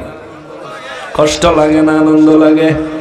জোরে কর যেই হুজুর কয়, নবীর মতো, নবী বেলা তার মতন, হাসরের ময়দানে ওই হুজুর কবিরা গুনাগারের কাতারে দাঁড়াইতে পারে? ঠিক কিনা বলেন? হ্যাঁ তো, কবিরা গুনাগারের কাতারে দাঁড়াইতে পারে। যদিও নবীজিকে তার সঙ্গে তুলনা করার সাথে সাথে ইমান চলে গেছে। তবু যদি আজকার ওয়াজের পরে তওবা কইরা ইমান আনে হাসরের ময়দানে যখন দাঁড়াবেন, কবিরা গুনাগারের কাতারে যখন দাঁড়াবে, তখন নিজের চোখে দেখবে, আমার নবী কবিরা গুনাগারের জন্য সাপাত করবে, জাহান্নামীরে জান্নাতি বানায়া দিবে। সেদিন দেখবা আজকে নকশবন্দির দোষ হয়েছে নকশবন্দি এই করে, সেই করে। এত বদনাম ইউটিউব খোলেন, ফেসবুক খোলেন, এই বদনাম, সেই বদনাম। যদি বদনাম গুলি সত্যি হইতো, তাহলে নকশবন্দি কবে ব্যানিশ হয়ে যাইতো? কবে শেষ হইয়া যাইতো? এত বদনামের বড় নকশবন্দি খোলা ময়দানে আল্লাহর রহমতে মদিনাওয়ালার সদকায় প্রতি রাতে দেশের বিভিন্ন প্রান্তে খোলা ময়দানে মানুষের সাথে কথা বলে যাচ্ছে, বয়ান করে যাচ্ছে, মানুষের সাথে দেখা করে যাইতেছে। কই? কোনো মামুর হুত্ত সামনে দাঁড়ানোর হিম্মত রাখে না, ঠিক কিনা বলেন? যদি প্রকৃত পক্ষে এমন কিছু হইতো, এমন কোনো কিছুর সত্যতা যদি থাকতো, তাইলে এগুলি নিয়ে অনেক কিছু হইতো। ফেসবুকে চিৎকার দিতে পারবা। চান্দু সামনে এসে দাঁড়ানোর ক্ষমতা রাখো না ঠিক কিনা বলেন ফেসবুকে যে কেউ চিৎকার প্রধানমন্ত্রীর বিরুদ্ধেও তো ফেসবুকে কয়। বলে না? প্রধানমন্ত্রীর বিরুদ্ধে পর্যন্ত বলে। তো যারা ফেসবুকে এই ধরনের নেককারজনক কাজ করে অভ্যস্ত তারা এটা করবেই যার যেটা স্বভাব। যার যেটা মন চায় সেটা করতে দাও আমার কাজ আমি করি। বিচার যা হবার হবে আল্লাহর দরবারে হাসরের ময়দানে ঠিক কিনা বলেন হিসাবে একদিন দিয়া যাওয়ান লাগবো। আজকে লাফাইতাছো জাগা মতন গিয়ে হিসাব দেওয়ান লাগবো। আমি তোমার বিরুদ্ধে যদি অন্যায় অন্যায়ভাবে বলি, তাইলে আমারও হিসাব দিতে হইব। তুমি যদি আমার বিরুদ্ধে অন্যায়ভাবে বলো, তোমারও হিসাব দিতে হইব। কি কোন, গালাগালি করছি না? গালি দিছি না? আমি বলে খালি গালি দেই, হুজুররা কয়। যেখানে মাহফিল হয়, নামটা পোস্টারে দেখলেই ফেডের ফায়ানা পাতলা হয়ে যাবে। কারণ আছে তো, যে এটা যদি আইয়ে, তাইলে একেবারে টপ টু বটম ফায়ার টেনে ধরে মাথা পর্যন্ত আমাদের যত জায়গায় যত গোমর আছে, সব গোমর ফাঁস করে দিয়ে যাবে। ঠিক কিনা বলেন? দেখেন তো, তিরমিজি শরীফের তিন হাজার ছয়শো ষোলো নম্বর হাদিস থেকে উঠে আসলো, নবীকে অন্য কোন নবীদের মতো মনে করা যাবে না। হায় হায় হায় হায়। আর কত বড় কমবখত আলেম হইয়া কয়, নবী তার মতন, তে নবীর মতন। দুঃখের ব্যাপার হইল, নাউজুবিল্লাহ তো আপনারা কইতেছেন, আবার আপনারা এই হুজুরে বেতন দেন, এই হুজুরে ভাত খাওয়ান, এই হুজুরে দেখলে সালাম দেন, এই হুজুরে চা দোহানো বয়া ইচ্ছা মতন আর বিস্কুট খাওয়ান। ঠিক কিনা কর? কই যেতাম আমনা লইয়া? আমনা লইয়া কই যেতাম এমন যদি কাউরে আপনি পান, এটার লগে কোনো ধরনের কোনো কুশল বিনিময়, কোনো সুসম্পর্কের দরকার? যার লগে নবীর লগে সম্পর্ক ভালো, তার জুতা লাগলে মাথায় করে টাইনেন নবীর মহব্বতে। আল্লাহ সন্তুষ্টির জন্য। আল্লাহ, তোমার সন্তুষ্টির আশায় নবীর মহব্বতে এই মানুষটা জুত আমি মাথায় নিছি। হাসনের ময়দানে কই তারবেন ইয়া রাসূলুল্লাহ, আপনারে বেশি ভালোবাসছে দেখছি তো? এর লেগে হুজুর অন্তরের খবর তার আমি জানি না। তারে দেখছি আপনারে বেশি ভালোবাসছে। এই জন্য হুজুর, তার জুতা আমি মাথায় বহন করছিলাম, ইয়া রাসূলুল্লাহ, আমার আমল নামায় আছে। হুজুর, এই খাতিরে আমার একটু সুপারিশ করেন না, জোরে করেন না, সুবহানাল্লাহ। সেদিন মিলেও যেতে পারে। এ মিয়া, মিলেও যেতে পারে। আল্লাহ বলেন, ওয়াবতাগু ইলাইহিল ওয়াসিলা। এ আখিরি নবীর উম্মত, তুই একটা উসিলা আমার সামনে দাঁড় করা, আমি তোরে মাফ করে দিব। সুবহানাল্লাহ। একটা উসিলা আমার সামনে দাঁড় করা। এমন উসিলার কথা কইলেও কয় সেরেক। কই যাইতাম? ক উসিলা উসিলা ওসিলা দিলে মাধ্যম আল্লাহর কাছে পেশ করলে বলে শিরিক। তুমি যেটারে শিরিক করছ, বলতেছো, এই ধরনের শিরিক আদম নবী তিনশো ষাট বছর পরে করছে আর আল্লাহ আদম নবীরে মাফ করে দিছে। সুবহান আল্লাহ কন্যা তিনশো ষাট বছর আদম নবী দোয়া করছে, রব্বানা জালামনা আনফুসানা ওয়া ইল্লাম তাগফির লানা ওয়া তারহামনা লানাকুনান্না মিনাল খাসিরিন। ও আমার আল্লাহ আমরা অন্যায় করছি। এই দোয়া কিন্তু আল্লাহ শিখিয়ে দিছে জান্নাত থেকে। জান্নাত থেকে যখন দুনিয়ায় আসে, আদম নবীকে আল্লাহ গন্ধম খাইছি, এই অপরাধে বাইর করে দিতেছেন। তো মাফ পামু কেমনে? এই রাস্তাটা দেখাইয়া দেন। আল্লাহ কয়, দুনিয়াতে গিয়ে পড়বা, রব্বানা জালামনা আনফুসানা ওয়া ইল্লাম তাগফির লানা ওয়া তারহামনা লানাকুনান্না মিনাল খাসিরিন। জোরে করনা সুবহানাল্লাহ। তিনশো ষাটটা বছর আদম নবী কান্দে একদিকে, মা হাওয়া আলাই সালাম কান্দে একদিকে দোনো জনে দোনো জায়গাতে খালি কয়, রব্বানা জালামনা আনফুসানা ওয়া ইল্লাম তাগফির লানা ওয়া তারহামনা লানাকুনান্না মিনাল খাসিরিন। আল্লাহ মাফ করে মাফ করে মাফ করে। তিনশো ষাট বছর পরে দুইজন একখানো কয়, আল্লাহ, এই এত বছর, এই দোয়া করলাম, যখন মাফ করে না, আজকে এই দোয়া বাদ। আজকে নতুন একটা দোয়া করি। আল্লাহ এই আমারে বানাইছিলেন পরে মাথা উঠাইয়া আপনার আরশা আজিমের চৌকাট মোবারকের মধ্যে আমি দেখছিলাম। আপনার নামের সাথে আর একটা নাম মোহাম্মদ আলাইহি ওয়াসাল্লাম। সুবহানাল্লাহ কন্যা আল্লাহ আপনার নামের সাথে যার নাম জায়গা পাইছে, নিশ্চয়ই এই ব্যক্তির থেকে প্রিয় আপনার কাছে আর কেউ নাই। আল্লাহ এই নামের খাতিরে, এই নামের ব্যক্তির খাতিরে আমারে মাফ করে দেন। জিব্রাইল আমিন সঙ্গে সঙ্গে ওহিনী আইছে। আয়সা কয়, আদম নবী গো, এই কথাটা যদি বেহেস্ত কইতেন, আল্লাহ কইছে আপনাদের বেহেস্তই মাফ করে দিত। জোরে কন্যা সুবহানাল্লাহ। আল্লাহ ও, তার মানে তিনশো ষাট বছর কান্দাইছে আমার নবীর সিনানের লেগা তিনশো ষাট বছর পরে যখন আমার নবীর নাম মোবারকের উসিলা দিছে, আল্লাহ আদম নবীরে মাহাওয়া সালামের মাফ করছে। আমরা ইসকা জান্নাতের আশা করতে পারি, আদম নবী মাহাওয়া সালাম উসিলা দিছে দেখা তাইলে বোঝা গেল ওসিলা ধরা শিরিক নয়। উসিলা ধরা মুমিনের কাজ আল্লাহর কাছ থেকে ক্ষমা পাওয়ার লক্ষণ। ওসিলা তালাশ করাকে যে ব্যক্তি শিরিক বলবে প্রকৃতপক্ষে সে নিজেই মুশরিক হয়ে যাবে, ঠিক কিনা বলেন? কোরআন শরীফ আল্লাহ বলে রাখছেন ইলাইহিল ওয়াসিলা। এই তালাশ কর, একটা উসিলা আমার সামনে দাঁড় করা বান্দা, আমি তোরে মাফ করে দিব, জোরে সুবহানাল্লাহ। সাহাবাই বললেন, হুজুর, আল্লাহ উসিলা দিয়া মাফ করে। আমার নবী বললেন হ্যাঁ আল্লাহ উসিলা দিয়া মাফ করে, হুজুর। এই কীরকম মাফ করে, যদি একটু বুঝাই বলতেন। আমার নবী বললেন, শোনো, মুমিনেরা মাঝে মধ্যে অসুস্থ হয়। আপনারা অসুস্থ হন না? অনেক ভালো মানুষ, কিন্তু অনেক বড় ধরনের অসুস্থ, রোগাক্রান্ত অনেক সময় হয়, কি হয় না? আমার নবী বললেন, এই যে মুমিন ব্যক্তি অসুস্থ হয়, মুমিন ব্যক্তিরে আল্লাহ রোগ দেয়, একটু কষ্ট দেয়, এই কষ্টের বিনিময়ে তার বড় বড় গুণ আল্লাহ মাফ করে দেয়। জোরে কন্যা সোহান তাহলে মুমিনের জন্য অসুস্থতা রোগ হওয়াটাও আল্লাহর নেয়ামত। জোরে কন্যা সুহার আল্লাহ এই জন্য মুমিন ব্যক্তি অসুস্থ হইল আল্লাহ শকর আদায় করে, আলহামদুলিল্লাহ। গৌসে পাক আব্দুল কাদের জিলানি রাদি আল্লাহ তালানহু একবার মারাত্মক অসুস্থ হলেন। তিন দিন পর্যন্ত বিছানা থেকে উঠতে পারেন না, এমন অবস্থা। শুধু খালি নামাজটা পড়েন, আর বিছানার মধ্যে খালি কাতরায়। তিন দিন পরে বাগদাদের থেকে বড় হেকিম নিয়ে আইসে ওনার মুড়িদারা, হুজুর, এই একজন হেকিম আনছি, আপনার একটু চিকিৎসা করতো। আর গাউসে পাক বলে এই বেড়া, আমি কি কইছি হেকিম আনতে? কজিরা হুজুর, আপনি যে অসুস্থ, আপনি যে কষ্ট পাইতেছেন, হুজুর, আমরা তো মুড়িদান, আমরা কষ্ট লাগে। এর লেগে আমরা গিয়া এই, ইয়া লই আইছি, এই হেকিম লই আইছি। তখন আরবিতে তো হেকিম কয় বাংলাতে চিকিৎসক কয়, ইংরেজিতে ডাক্তার কয়, এই তিনটার অর্থ একই। তো, হুজুর হেকিম দিয়ে আইসি আপনার কষ্ট দেখে আমাদের কষ্ট হয়। গাউসে পাক বলেন, সব হেকিমের হেকিম হইল আল্লাহ। আল্লাহ যদি মাফ করতে চায়, তাকে হেকিম লাগবো? তো তোমরা হেকিম লইছো কে? হেকিম সাহেব, আপনি চলে যান। আমি চিকিৎসা নিব না। আল্লাহ যদি মনে, আল্লাহ যদি কুদরতের ইচ্ছা করেন যে আমি গাউসে পাকের এই রোগ দিয়া কবর নিয়ে যাইবেন, আমি হাসি মুখে মৃত্যু গ্রহণ করতে রাজি আছি। আর আল্লাহ যদি চায় আমারে সুস্থ করবেন, তবে আল্লাহর রহমত দিয়ে আমাকে সুস্থ করুক, আমি গাউসে পাক বুঝতে পারব। আমার কোনো না কোনো ত্রুটির কারণে আল্লাহ আমারে এই রোগ দিছেন। জোরে কন্যা সুবহান মুরিদান বললেন, হুজুর, মুমিনের শুধু গুনাহ মাফের জন্যই কি আল্লাহ বিমার অসুস্থ দেয়, অসুস্থতা দেয়, বিপদ দেয়? নবীজি বললেন, না। হুজুর, আরও কোনো কারণ আছে? আমার নবী বললেন হ্যাঁ। ইয়া রাসূলুল্লাহ, কোন কারণ? আমার নবী বলেন, নেক বান্দাকে, মুমিন বান্দাকে, যার গুনাহ নাই, কিন্তু তারেও আল্লাহ অসুস্থতা দেয়, বিমার দেয়, রোগ দেয়, বিপদ দেয় এর একটা কারণ হইল যদি গুণা থাকে গুণা মাফ করে দেয়। আর যদি গুণা না থাকে আল্লাহ তার মর্যাদা বৃদ্ধি করে দেয়। তাহলে রোগ হইল উসিলা। রোগ হইল?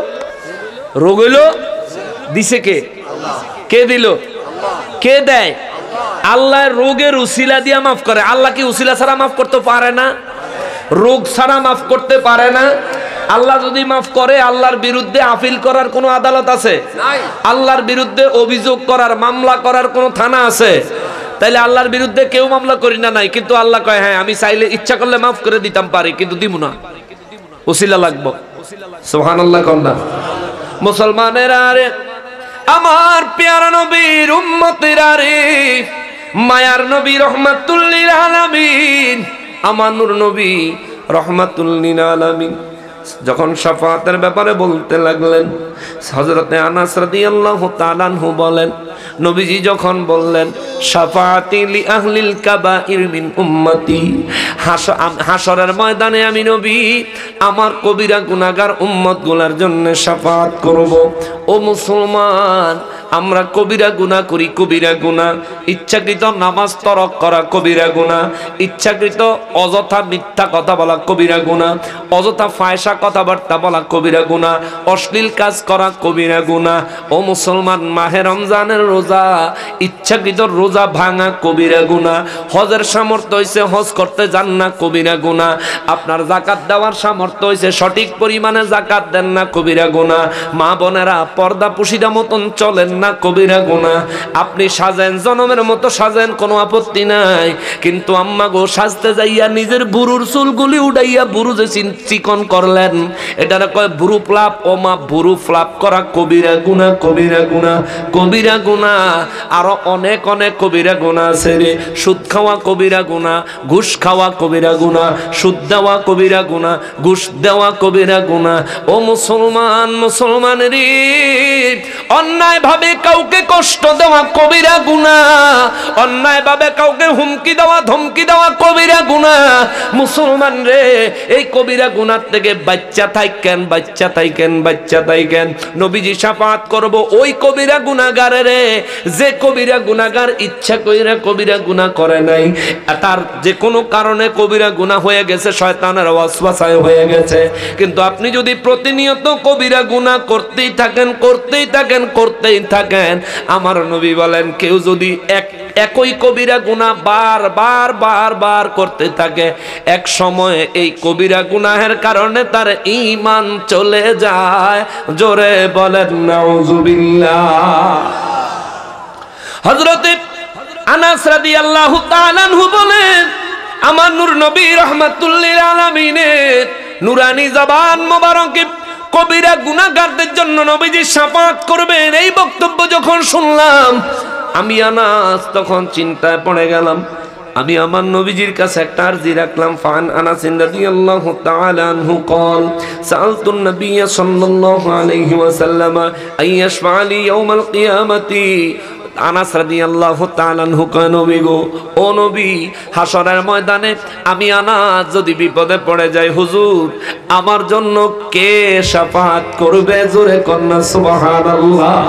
হুজুর, আমার জন্য কে সুপারিশ করবে?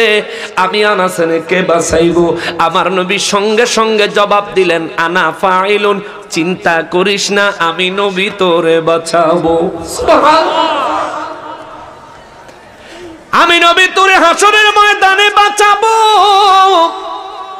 আনা ফাইলুন আমি বাঁচাবো টেনশন করিস না আনাস রাদিয়াল্লাহু তাআলা আনহু বলেন قال قلت يا رسول الله صلى الله عليه وسلم فأين أطلبك হুজুর হাসরের ময়দান হবে সারাটা পৃথিবী ধরে বিস্তৃত একশো বিশ কাতার মানুষ হবে সবাই সবাই নাফসি নাফসি করতে থাকবে।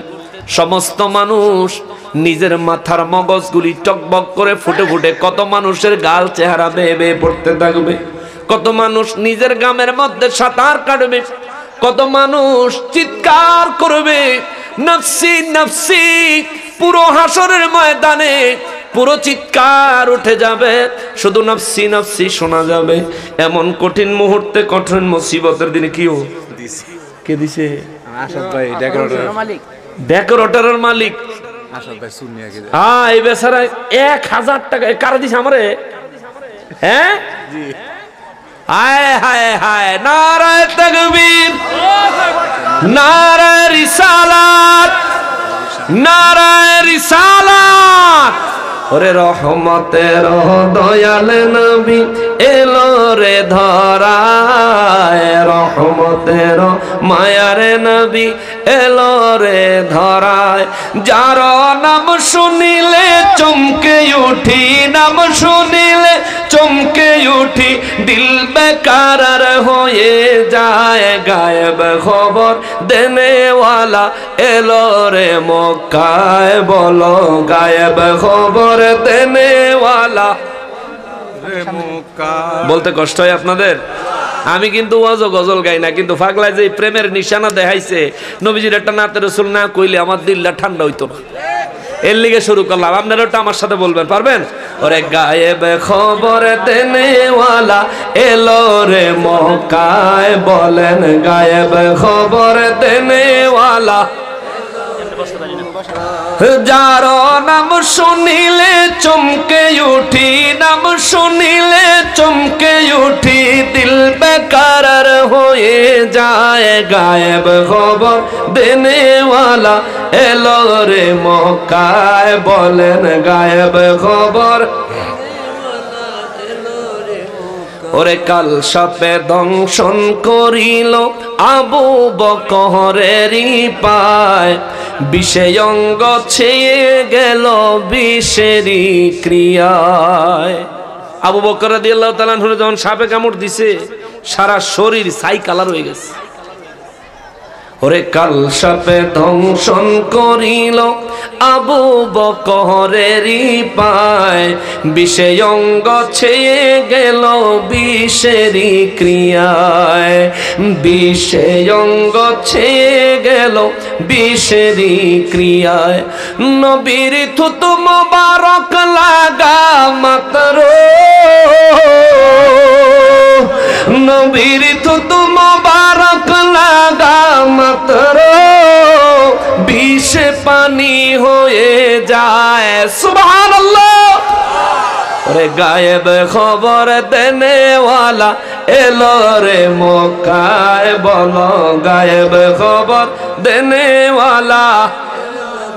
ওরে রহমতে রহ দয়ালে নবী এলো রে ধরায়। রহমতে রহ দয়ালে নবী।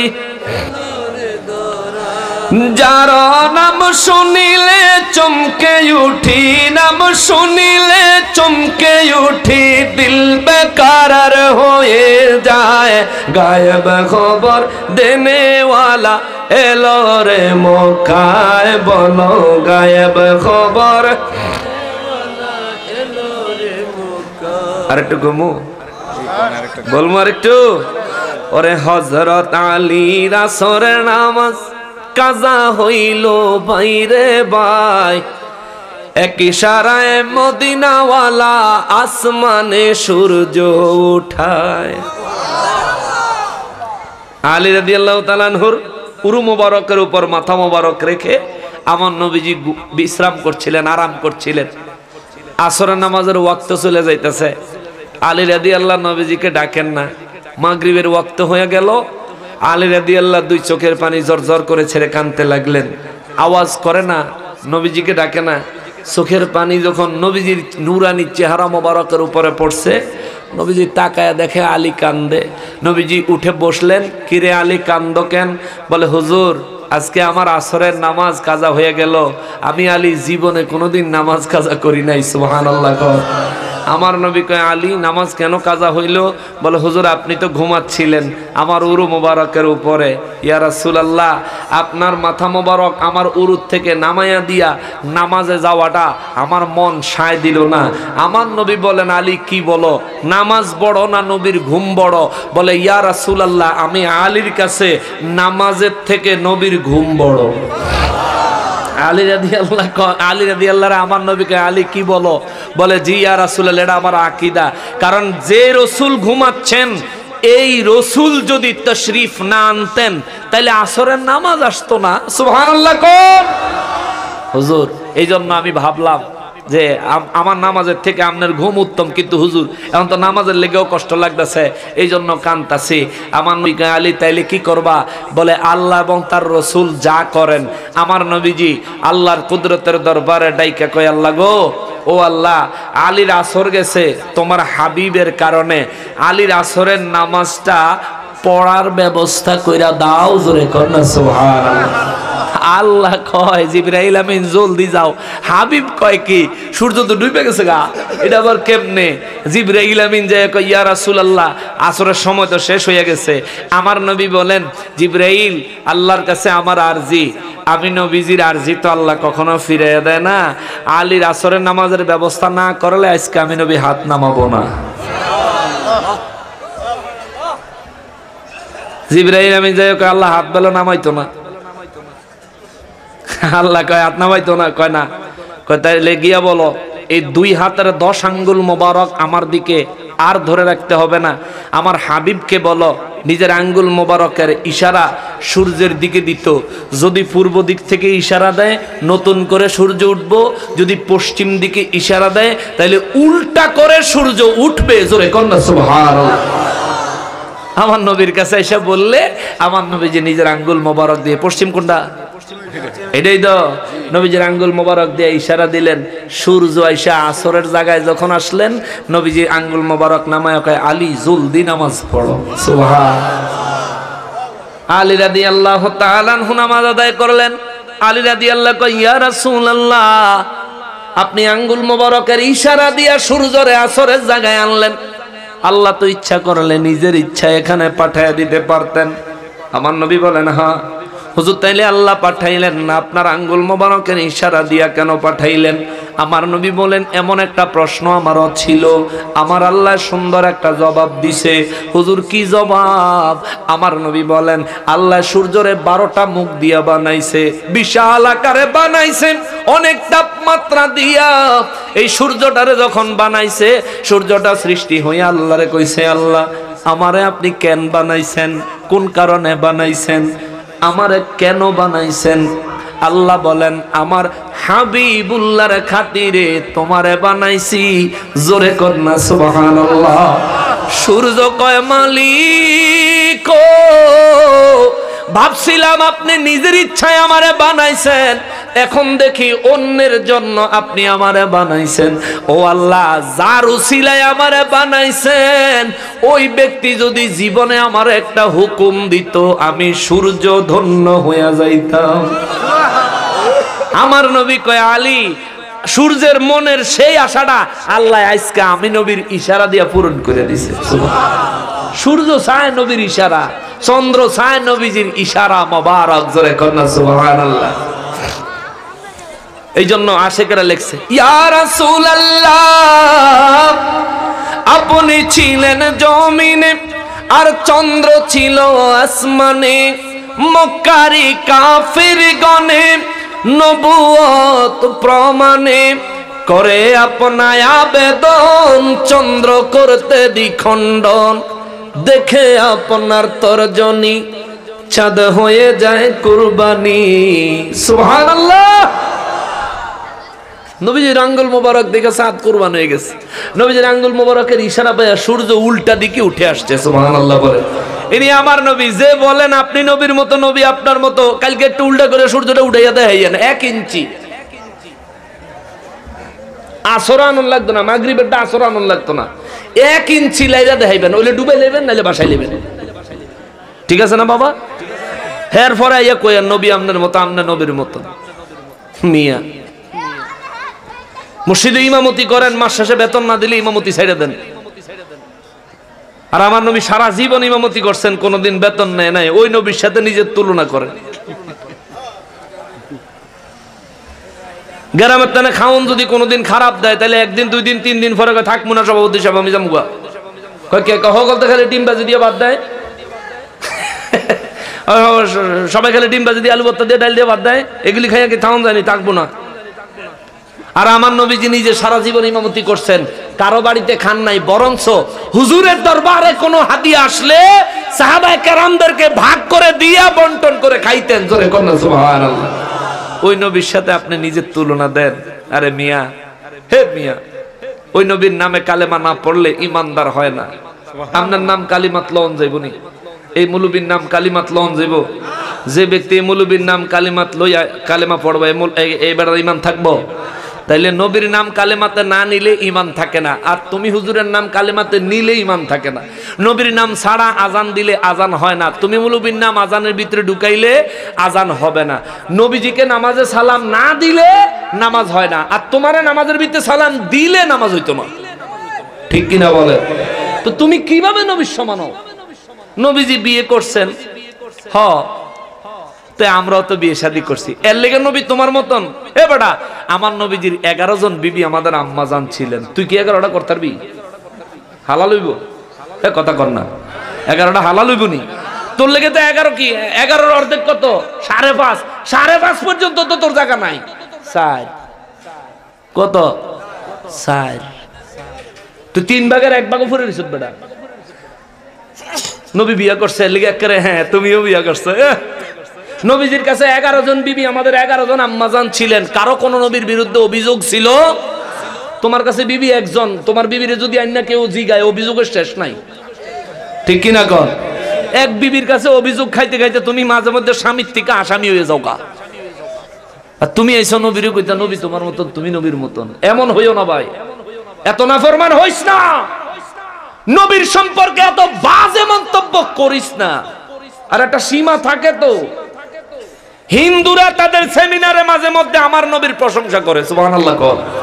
এখন তো অনলাইন মিডিয়ার যুগে, মিডিয়ার সুবাদ- আমরা দেখতে পারি ইন্ডিয়াতে হিন্দুদের, ঠাকুরদের বড় যখন সেমিনার হয়, ওই সেমিনারে আমার নূর নবীর কথা মোহাম্মদ, তারা তো তাদের মতো করে মোহাম্মদ মোহাম্মদ বলে।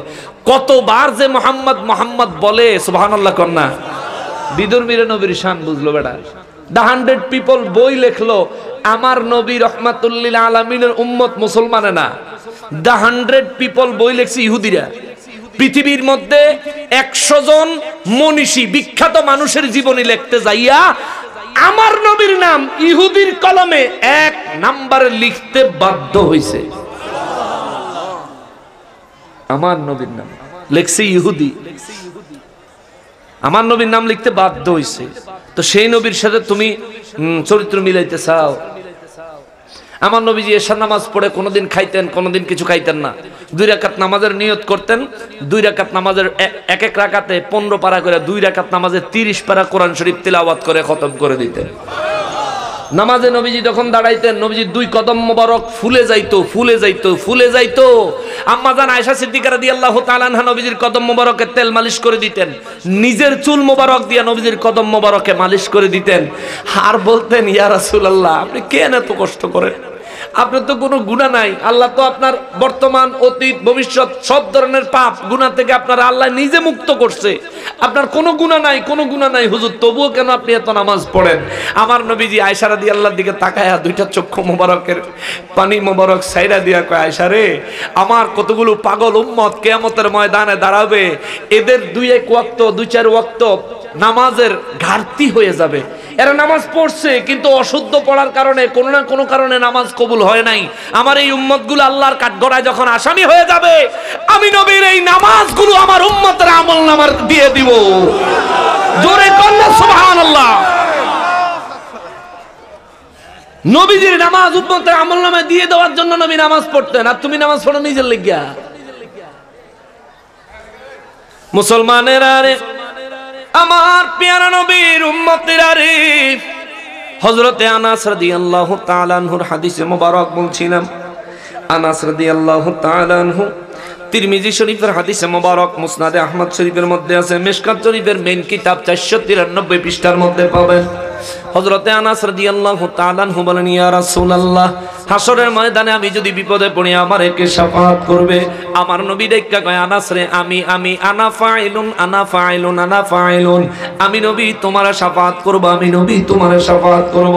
আনাস রাদিয়াল্লাহু তাআলা আনহু বলেন, ক্বালা কুলতু, ইয়া রাসূলুল্লাহ ফাইনা আতলুবুকা?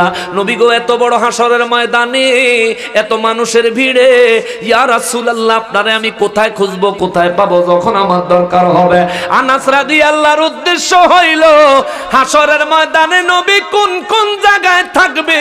আমার নবী এই খবর জানে, এই এলমে গায়েব নবীর আল্লাহ জানায় দিছে। আজকা নবীর কাছ থেকে ঠিকানা নিয়ে নিমু হাসরের ময়দানে যখনই বিপদে পড়মু, একটা দৌড় দিমু। নবীজিরে না পাওয়া পর্যন্ত দৌড় থামামু না, জোরে কোন সুবহানাল্লাহ। হাসরের ময়দান কায়েম হইছে নি? হাসরের ময়দান কায়েম হয়ে গেছে। হাসরের ময়দান কায়েম হলে আপনারা এন কি আরেন আপনারা তো অন থাকতেন বেশ তো জান্নাতের ভিতরে থাকতে। হাসরের ময়দান কায়েম হইছে। আচ্ছা। আপনারা এখানে যারা আছেন বুঝা থাকলে জবাব দিবেন। হাসরের ময়দান আপনি কোন জায়গাত খারাইবেন কোন জায়গাত বইবেন, কোন জায়গাত থাকবেন? এটা জানেন তো? হ্যাঁ? জানেন না? একজনও জানেন না? চেয়ারম্যান সাহেব তো জানে। চেয়ারম্যান সাহেব বলে, আপনাকে আগেই জানে না। মানে আপনারা তো জানেন না। চেয়ারম্যান সাহেব বলে, আপনাকে আগেই জানেন আমিও জানি না, আমি যে অত বড় হুজুর। এই যে ওয়াজ করতেছি, আমি যে অত বড় হুজুর, আমিও জানি। কিন্তু আমার নবী কোন জায়গায় থাকব? আমার নবী জানে, জোরে কন্যা সুবহানাল্লাহ। আনাস রাদিয়াল্লাহু তাআলা নূর 1450 বছর আগে কয় গো আপনারে আমি কোথায় পাবো কোথায় পাবো কোথায় পাবো? নবী গো, কোন জায়গায় আপনাকে পাওয়া যাবে? আমার নবী বলেন, কলা উতলুবনি আউয়ালা মা তাতলুবনি আলা সিরাত।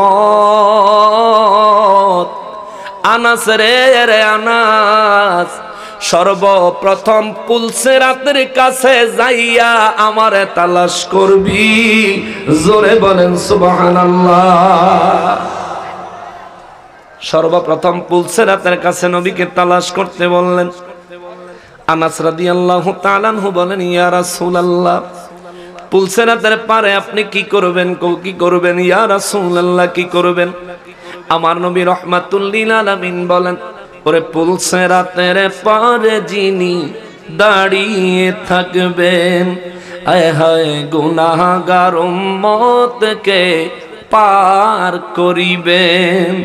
ওরে পুলসে রাতের পারে যিনি দাঁড়িয়ে থাকবেন হায় হায় গুনাহগার তেরে পার করিবেন। নবী উম্মতেরি পাগল নবী, উম্মতেরি পাগল নবী, মনে রাখিও, মন যদি দিতে হয় নবীকে দিও, আহা, মন যদি দিতে হয় নবী তোমার কষ্ট যাত না, যিনি সইতে পারেন না, তোমার দুঃখ যাত না, যিনি সইতে পারেন না। আহা, ওই নবীজির মহাবতে মিলাদ পড়িও, মন যদি দিতে হয় নবীকে দিও। আহা, মন যদি দিতে হয় নবী। ওরে জাহান্না মেরে গেইতে যাকে পাওয়া যাইবে। আয় হায়, দুরুদ পড়া উম্মতেরে পার করিবে। সুবহানাল্লাহ। নবী উম্মতেরি পাগল, নবী উম্মতেরি পাগল, নবী মনে রাখিও, মন যদি দিতে হয়। হাজরে মন যদি দিতে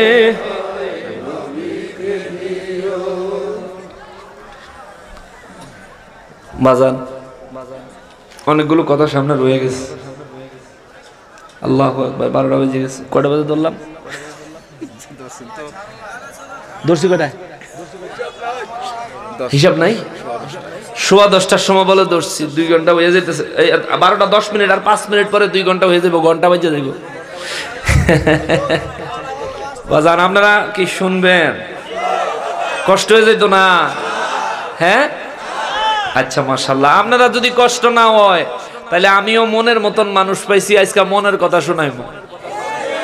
আল্লাহ কবুল করুক। আল্লাহ ধৈর্য দান করুক। সঠিকভাবে বোঝার তৌফিক দান করুক। মুসলমান, নবীর এত কথা কেন বলি? কেন নবীর কথা এত বলি? বাবা, যে নবী চিনছে, সে আল্লাহ চিনছে। যে নবী পাইছে, সে আল্লাহ পাইছে। যে নবীর প্রেমিক হইছে, সে আল্লাহর প্রেমিক হয়ে গেছে। সুবহানাল্লাহ। আল্লাহ বলেন মাইয়ুতি রাসূলা ফকদ আত আল্লাহ। আমি আল্লাহ ঘোষণা দিচ্ছি, পৃথিবীতে যারা আমার হাবিবের প্রেমিক হইছে, হাবিবের আশিক হইছে, হাবিবের অনুগত্যকারী হইছে, হাবিবের অনুকরণ অনুসরণকারী হয়েছে, ওই ব্যক্তি আমি আল্লাহর আনুগত্যকারী হয়ে গেছে, জোরে কন্যা যদি আর একটু মডিফাই করি সহজে বোঝার জন্য, যে ব্যক্তি নবীর গোলাম হইছে, ওই ব্যক্তি আমি আল্লাহর গোলাম হয়ে গেছে, জোরে কন্যা সুবহানাল্লাহ। নবীর গোলাম হলে কার গোলাম হয়? নবীজির প্রেমিক হলে কার প্রেমিক হয়? যে নবীকে ভালোবাসে তারে ভালোবাসে কে? কে ভালোবাসে? কে ভালোবাসে?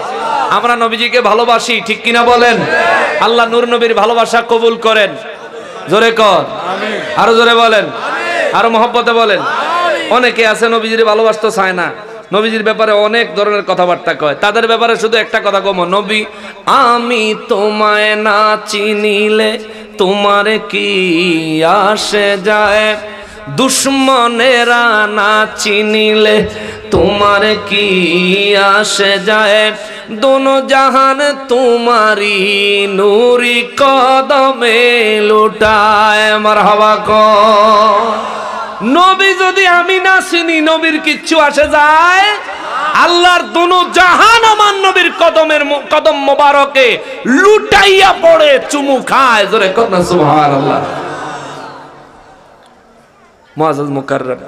হাসরের ময়দানে নবীজির কোন জায়গায় পাওয়া যাবে? সর্বপ্রথম? কিন্তু আনাস রাদিয়াল্লাহু তো বলেন না যে হুজুর প্রথমে কোথায় পাওয়া যাবে? খেয়াল করেন। তিনি বলছেন ফাইনা আতলুবুকা। হুজুর আপনারে কোথায় পাওয়া যাবে? আমার নবী বললেন আমাকে প্রথমে পুলসেরাতের কাছে তালাশ করো। যেহেতু প্রথমে কইছে আনাস রাদিয়াল্লাহু তাআলা আনহু চিন্তা করলেন নিশ্চয়ই দ্বিতীয় জায়গা আছে। সুহান আল্লাহ কর। নিশ্চয়ই আরও একটা ঠিকানা আছে। নাইলে নবীজি প্রথমে কেন বললেন? আউ্বালু শব্দ ব্যবহার কেন করলেন? নূর নবী রহমাতুল্লিল আলামিনকে আনাস রাদিয়াল্লাহু তাআলা আনহু কয় ইয়া রাসূলুল্লাহ সাল্লাল্লাহু আলাইহি ওয়াসাল্লাম قال قلت فإن لم ألقك على الصراط হুজুর আমি যদি পুলসেরাতের কাছে দৌড়াইয়া যাই পুলসেরাতের কাছে যদি আপনারা না পাই হুজুর তাইলে আপনারা দ্বিতীয় কোন জায়গায় তালাশ করব নবী গো কোন জায়গায় তালাশ করব আমার নবীজি দ্বিতীয় জায়গার নামও বললেন এই দ্বিতীয় জায়গার নাম জানতে চাননি ঠিকানা জানতে চান আনাস রাদি আল্লাহর জানা দরকার আমাদের জানা দরকার আছে না নাই জোরে বলেন আছে না নাই নবী আমার রহমাতুল্লিল আলামিন কয় আনাস রে রে আনাস ও আনাস قال فاطلبني عند الحوض তুমি পুলসেরাতের কাছে যাইয়া যদি আমি নবীকে খুইজা না পাও, দেরি করিও না দৌড়াইয়া হাউজে কাউসারের কাছে চইলা যাইবি। যায়া দেখবি আমি নবী নিজের হাত মোবারকে, আমার পিপাসিত গুনাগার উম্মত গুলারে হাউজে কাউসারের শরবত পান করাইতেছি। আরও জোরে কন্যা সুবহানাল্লাহ। আনাস রাদিয়াল্লাহু তাআলা আনহু চিন্তা করলেন, আমার নবীজি প্রথম বললেন, আবার দ্বিতীয় বললেন, আনাস রাদিয়াল্লাহ বলেন ইয়ার ইয়া রাসূলুল্লাহ, যদি হাউজে কাউসারের কাছেও আপনারা না পায় হুজুর তাইলে কোন জায়গায় যাব? আমার নূর নবী রহমাতুল লিল আলামিন বলেন, ফাতলুবুনি ইনদাল মিজান। ও আনাস আমার মিজান যে জায়গায় মানুষের নেক এবং গুনাহ আল্লাহ ওজন করবে, ওই জায়গায় যায় তালাশ করবি। আমি নবীজিরে যদি পুলসেরাতে না পাও, যদি হাউজে কাউসারের কাছে না পাও, মিজানের কাছে অবশ্যই পাইবা। ও আনাস, এই তিন জায়গার যেই কোনো এক জায়গায় আমারে অবশ্যই পায়া যাইবা। সুবহানাল্লাহ। দেখেন পুলসেরাতের কাছে আমার নবীজি দাঁড়াবেন। কেন? গুনাগার উম্মত যেন নিরাপদে পুলসেরাত পার হয়। জিবরাইল আমিন কয়, নবী গো, মেরাজের রাতে আপনাদের বোধহয় কষ্ট হয়ে যেতেছে মেরাজের রাতে জিবরাইল আমিন কয়, নবী গো ও গো দয়াল নবীজি হুজুর আল্লাহর কাছে আপনি যাচ্ছেন, আমার একটা আরজি আছে।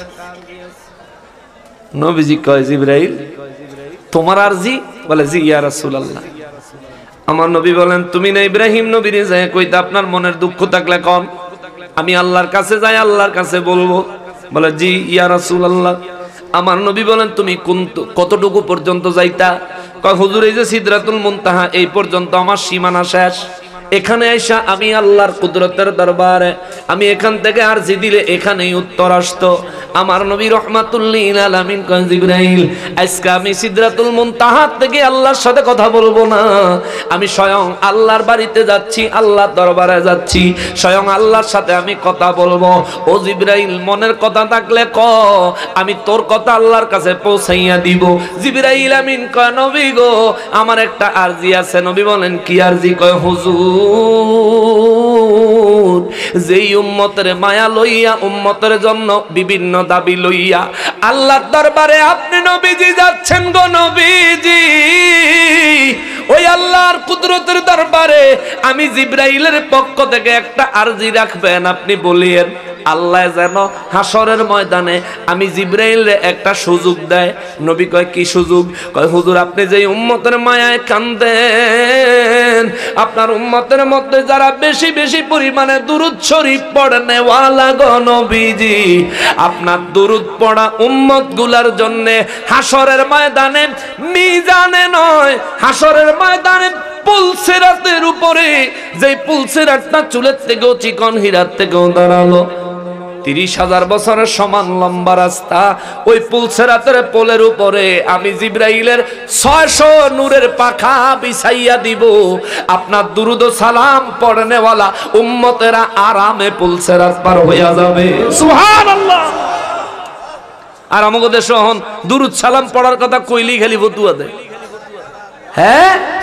খালি ফতুয়া দেয়। অথচ জিব্রাইল আলাইহিস সালাম নিজের নূরের পাখা বিছাইয়া দিব পুলসেরাতের উপরে। দুরুদ শরীফ পড়নে ওয়ালা, নবীজিকে সালাম দেনে ওয়ালার জন্য জোরে কন্যা সুবহানাল্লাহ।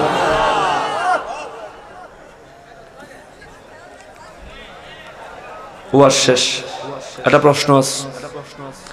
আজানের পূর্বে ধারাবাহিকভাবে দুরুদ শরীফ পড়া সুন্নাত না বিদাত? কোরআন হাদিসের আলোকে উত্তর চাই। প্রথম কথা হইল, আমি মাহফিলে প্রশ্নোত্তর দেই না। সব মাহফিলে এটা কই? এটা অনলাইনে ডেইলি যায়, তবুও মানুষে গেলে প্রশ্ন করে। কেননা ওয়াজ শেষ হওয়ার আগে ভিতরে দিয়ে প্রশ্ন ঢুকাই দেয়। দিলে হয় কি, ওয়াজের পুরা মজাই নষ্ট হয়ে যায়। আজানের পূর্বে সলাত ও সালাম পেশ করা মুস্তাহাব, মুস্তাহসান। এটা পড়লে সওয়াব আছে, না পড়লে গুনাহ নাই। যেহেতু পড়লে সওয়াব আছে, তাহলে আমাদের কি পড়া দরকার না ছাড়া দরকার? কারণ আমাদের হায়াত কি বেশি না কম? অন্য অন্য নবীদের, উম্মতদের তুলনায় আমাদের হায়াত আমাদের হায়াত? তাহলে আমরা যত বেশি ইবাদত করব, তত খুশি হবে কে? জোরে বলেন কে? দুরুদ শরীফ পড়া সুন্নাত, দুরুদ শরীফ পড়া ইবাদত, দুরুদ শরীফ পড়া বেদাত নয়। আজানের আগে দুরুদ শরীফ পড়া হারাম, বেদাত বা শিরক বা যে কোনো ফতুয়াই দেয় দুরুদ শরীফের বিরুদ্ধে। কেউ যদি আজানের পূর্বে দুরুদ শরীফ পড়লে গুনাহ হবে। এমন একটা মজবুত দলিল পেশ করতে পারে, আমি তাকে দশ লক্ষ টাকা পুরস্কার দিব। আজানের আগে দুরুদ শরীফ পড়বেন। আরে আজানে নবীর নাম না নিলে আজান হয় না। নবীজির প্রতি দুরুদ শরীফ পড়লে এটা তো ভালো কাজ। ওই এই যে ব্রাহ্মণবাড়িয়ায় তো গত বছর আজানের আগে দুরুদ শরীফ লে পাঁচ জনের মাথা ফাটাইছে। ফাটাইছে না বাবা? আচ্ছা এবার একটু বিচার করেন। আমরা একটু নিজেদের আকলে বিচার করি। যে ব্যক্তি দুরুদ শরীফ পড়ল নবীর মহব্বতে না দুশ্মনীতে? কথা বলেন। আর এই দুরুদ শরীফ পড়নেওয়ালার মাথায় যে বাড়ি দিল এটা কি মহব্বতে না দুশ্মনীতে? তাহলে যে দুরুদ শরীফ আজানের আগে পড়ল এই ব্যক্তি নবীর মহাব্বতকারী। যে ব্যক্তি তার মাথা ফাটাইলো এটা হলো নবীর দুশ্মন। ঠিক কিনা বলে পড়লে সওয়াব আছে না পড়লে গুনাহ নাই। আবারও বলি মুস্তাহাব মুস্তাহসান সওয়াব। যেহেতু আমাদের হায়াত কম ইবাদত বন্দিগি বেশি করে করতে হবে। নফল ইবাদতগুলি বেশি করবেন, তাইলে আল্লাহর অলি হইতে পারবেন। মিশকাতুল মাসাবিহ কিতাবের মধ্যে নবীজি আল্লাহর হাদিসে কুদসি মুবারক বয়ান করেছেন। ফরজ ইবাদত দিয়ে ওলি আল্লাহ হইতে পারে না। ফরজ ইবাদত, ওয়াজিব, সুন্নত মুআক্কাদা ইবাদত ঠিক রাখার পর যখন বেশি পরিমাণে নফল ইবাদত করে, তখনই বান্দা আল্লাহর ভালোবাসার পাত্র হয়ে যায়। জোরে কন্যা সুবহানাল্লাহ। আল্লাহ কয়, এই বান্দা আমার কাছে যখন যা চাই আমি তা দিয়া দেই। যখন আশ্রয় চাই আশ্রয় দেই। জোরে কন্যা সুবহানাল্লাহ। এই বিষয়ে আমি লম্বা আলোচনা করলাম না। এখানে আচ্ছা বাজান, বয়ান আরও ছিল, হাদিও দিছে এটাকে পকেটে লয়ে লই। মাশাল্লাহ মারহাবা। যে ভাই দিছে ডেকোরেটরের ভাই। কি নাম? মোহাম্মদ আসাদুল্লাহ ভাই, অত্যন্ত নবী প্রেমিক মানুষ বুঝা গেছে। চুপচাপ দিয়া গেছে কা কইছে, বলে আরও দিব। আচ্ছা যাক, বলছে বা যেটুকু দিছে, আল্লাহ মদিনাওয়ালার মহাব্বতকারী হিসেবে কবুল করুক। আল্লাহ মদিনাওয়ালার দিদার নসিব করে দে তার ব্যবসা বাণিজ্যে খায়ের বরকত দান করুক। আপনারা যেখানে মাহফিল করবেন, এই ফাগলার ফ্যান্ডেলটা দাওয়াত দিয়ে। তার ফ্যান্ডেলটা নেন। এই ধরনের মানুষের দশ টাকা বেশি দিলেও লাভ। ঠিক কিনা বলেন? এই ধরনের মানুষের দশ টাকা বেশি দিলেও লাভ। মাইকের সাউন্ডটাও মাসাল্লাহ সুন্দর আছে। হুম, এই ধরনের মানুষের দশ টাকা বেশি দিলেও লাভ। এগুলি দেখে দেখে নবী প্রেমিক, নবীর জন্য জান দিতে পারে, এরম মানুষ দেখে দেখে এদের সাথে কারবার করবেন। এদের ছেলেবেলের কাছে ছেলে মেয়ে বিয়ে করাইবেন, বিয়ে দিবেন। এদের সাথে আত্মীয়তা করবেন। তাহলে সে না আপনার পরবর্তী প্রজন্ম ঠিক থাকব। আর নাহলে আউলা জাউলা জায়গা বিয়ে শাদী করাইবেন, দেখবেন ঘরের ভিতরে উল্টা পাল্টা ফেসবুক লাগাই দিব, ঠিক কিনা খবরদার। এখন বাজান এই মাহফিলটা এই বছর দ্বিতীয়বার, কেমন? আমি কিন্তু মাহফিলও কালেকশন করি না। বুঝছেন নি? মাহফিলও কালেকশন করি না, এখন হঠাৎ করে হেরাইয়া কইতাছে কালেকশন করতাম। আমি প্রথমত কালেকশন করি না কেন? আমার যথেষ্ট পরিমাণে হাদিয়া দিয়া তারপরে মানুষ দাওয়াত দেয়। আর আমার হাদিয়া আগে আগে দিয়া দন লাগে। আমি মাহফিলা ইয়া টেয়া পয়সা লইয়া টানাটানি করি না। দেন দিবেননি খারাই থাউন, এগুলি আমি পছন্দ করি না। এরপরে মাহফিলের শেষে টাকা পয়সা লইয়া রওনা দিলে রাস্তাঘাটও অনেক যারা তো বাইরে আছে খাড়িয়ে থাকে অনেক সমস্যা তো আছে, এটা তো আপনারা বাস্তব জীবনে আছেন, বুঝেনি। এই জন্য টাকা পয়সার এমনি মাহফিলে লেনদেন করি না, বাজান যা দিবেন দুটিয়া কম আর বেশি আগে দিয়ে আলাম তো আমাকে অনেক হাদিয়া দিয়ে তারপরে মানুষ আনে। আমি যদি কালেকশন করে সময় কাটায় দেই তাহলে মানুষ ওয়াজ শূন্য তৃপ্তি পায় না। আর আমিও ওয়াজ করে তৃপ্তি পাই না। আমি যার কারণে একদিন একটা মাহফিল করি।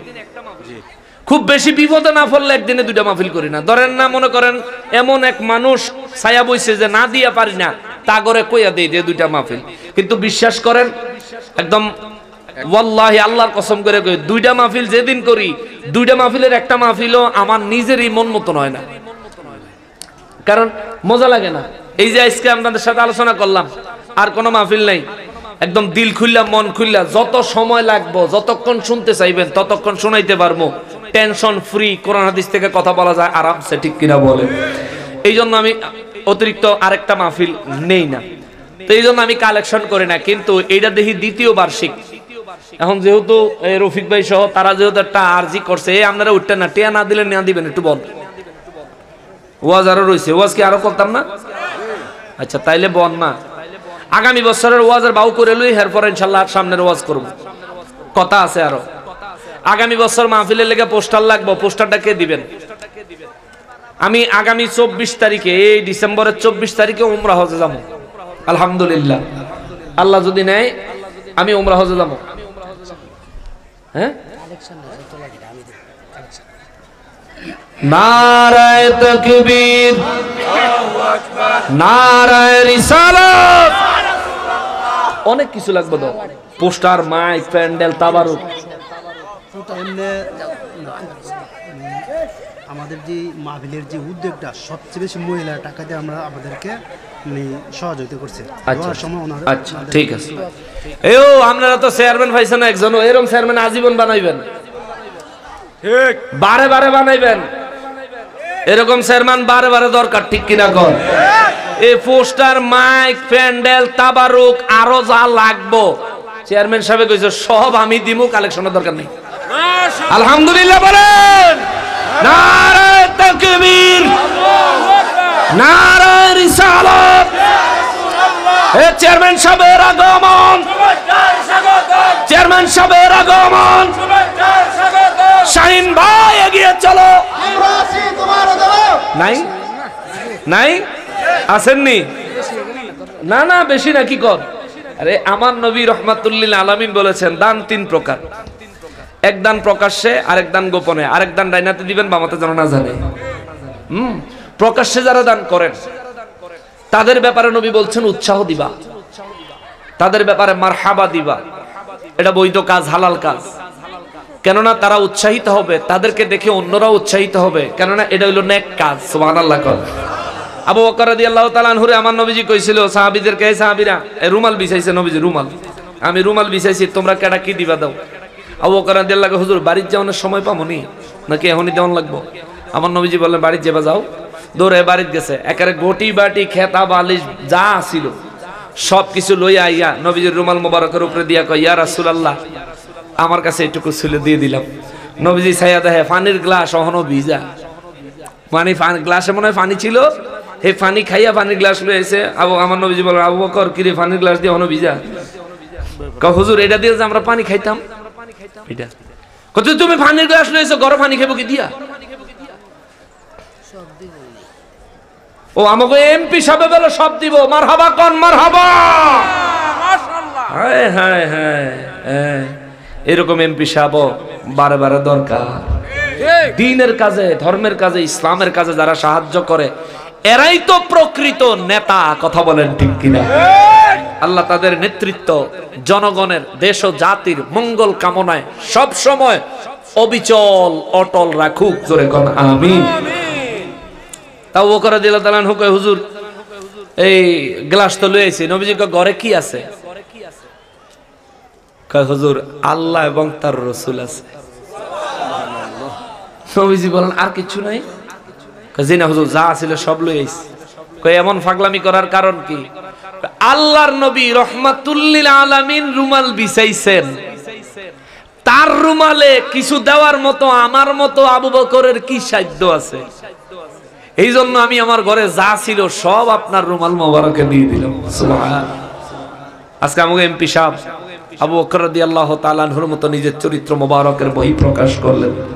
আল্লাহ তাআলা কবুল করেন, জোরে পড়েন, আমিন। কিন্তু ভাই, আপনার কাছে একটা দাবি আছে। এই মাহফিল কমিটি এডি তো সাধারণ এডি তো চাইল এমপির কাছে যাইতে পারতো না। এটা আপনার দায়িত্ব রইল আপনি এটা আদায় করে দিবেন। দুই কোটি টাকা দিছে এখানে?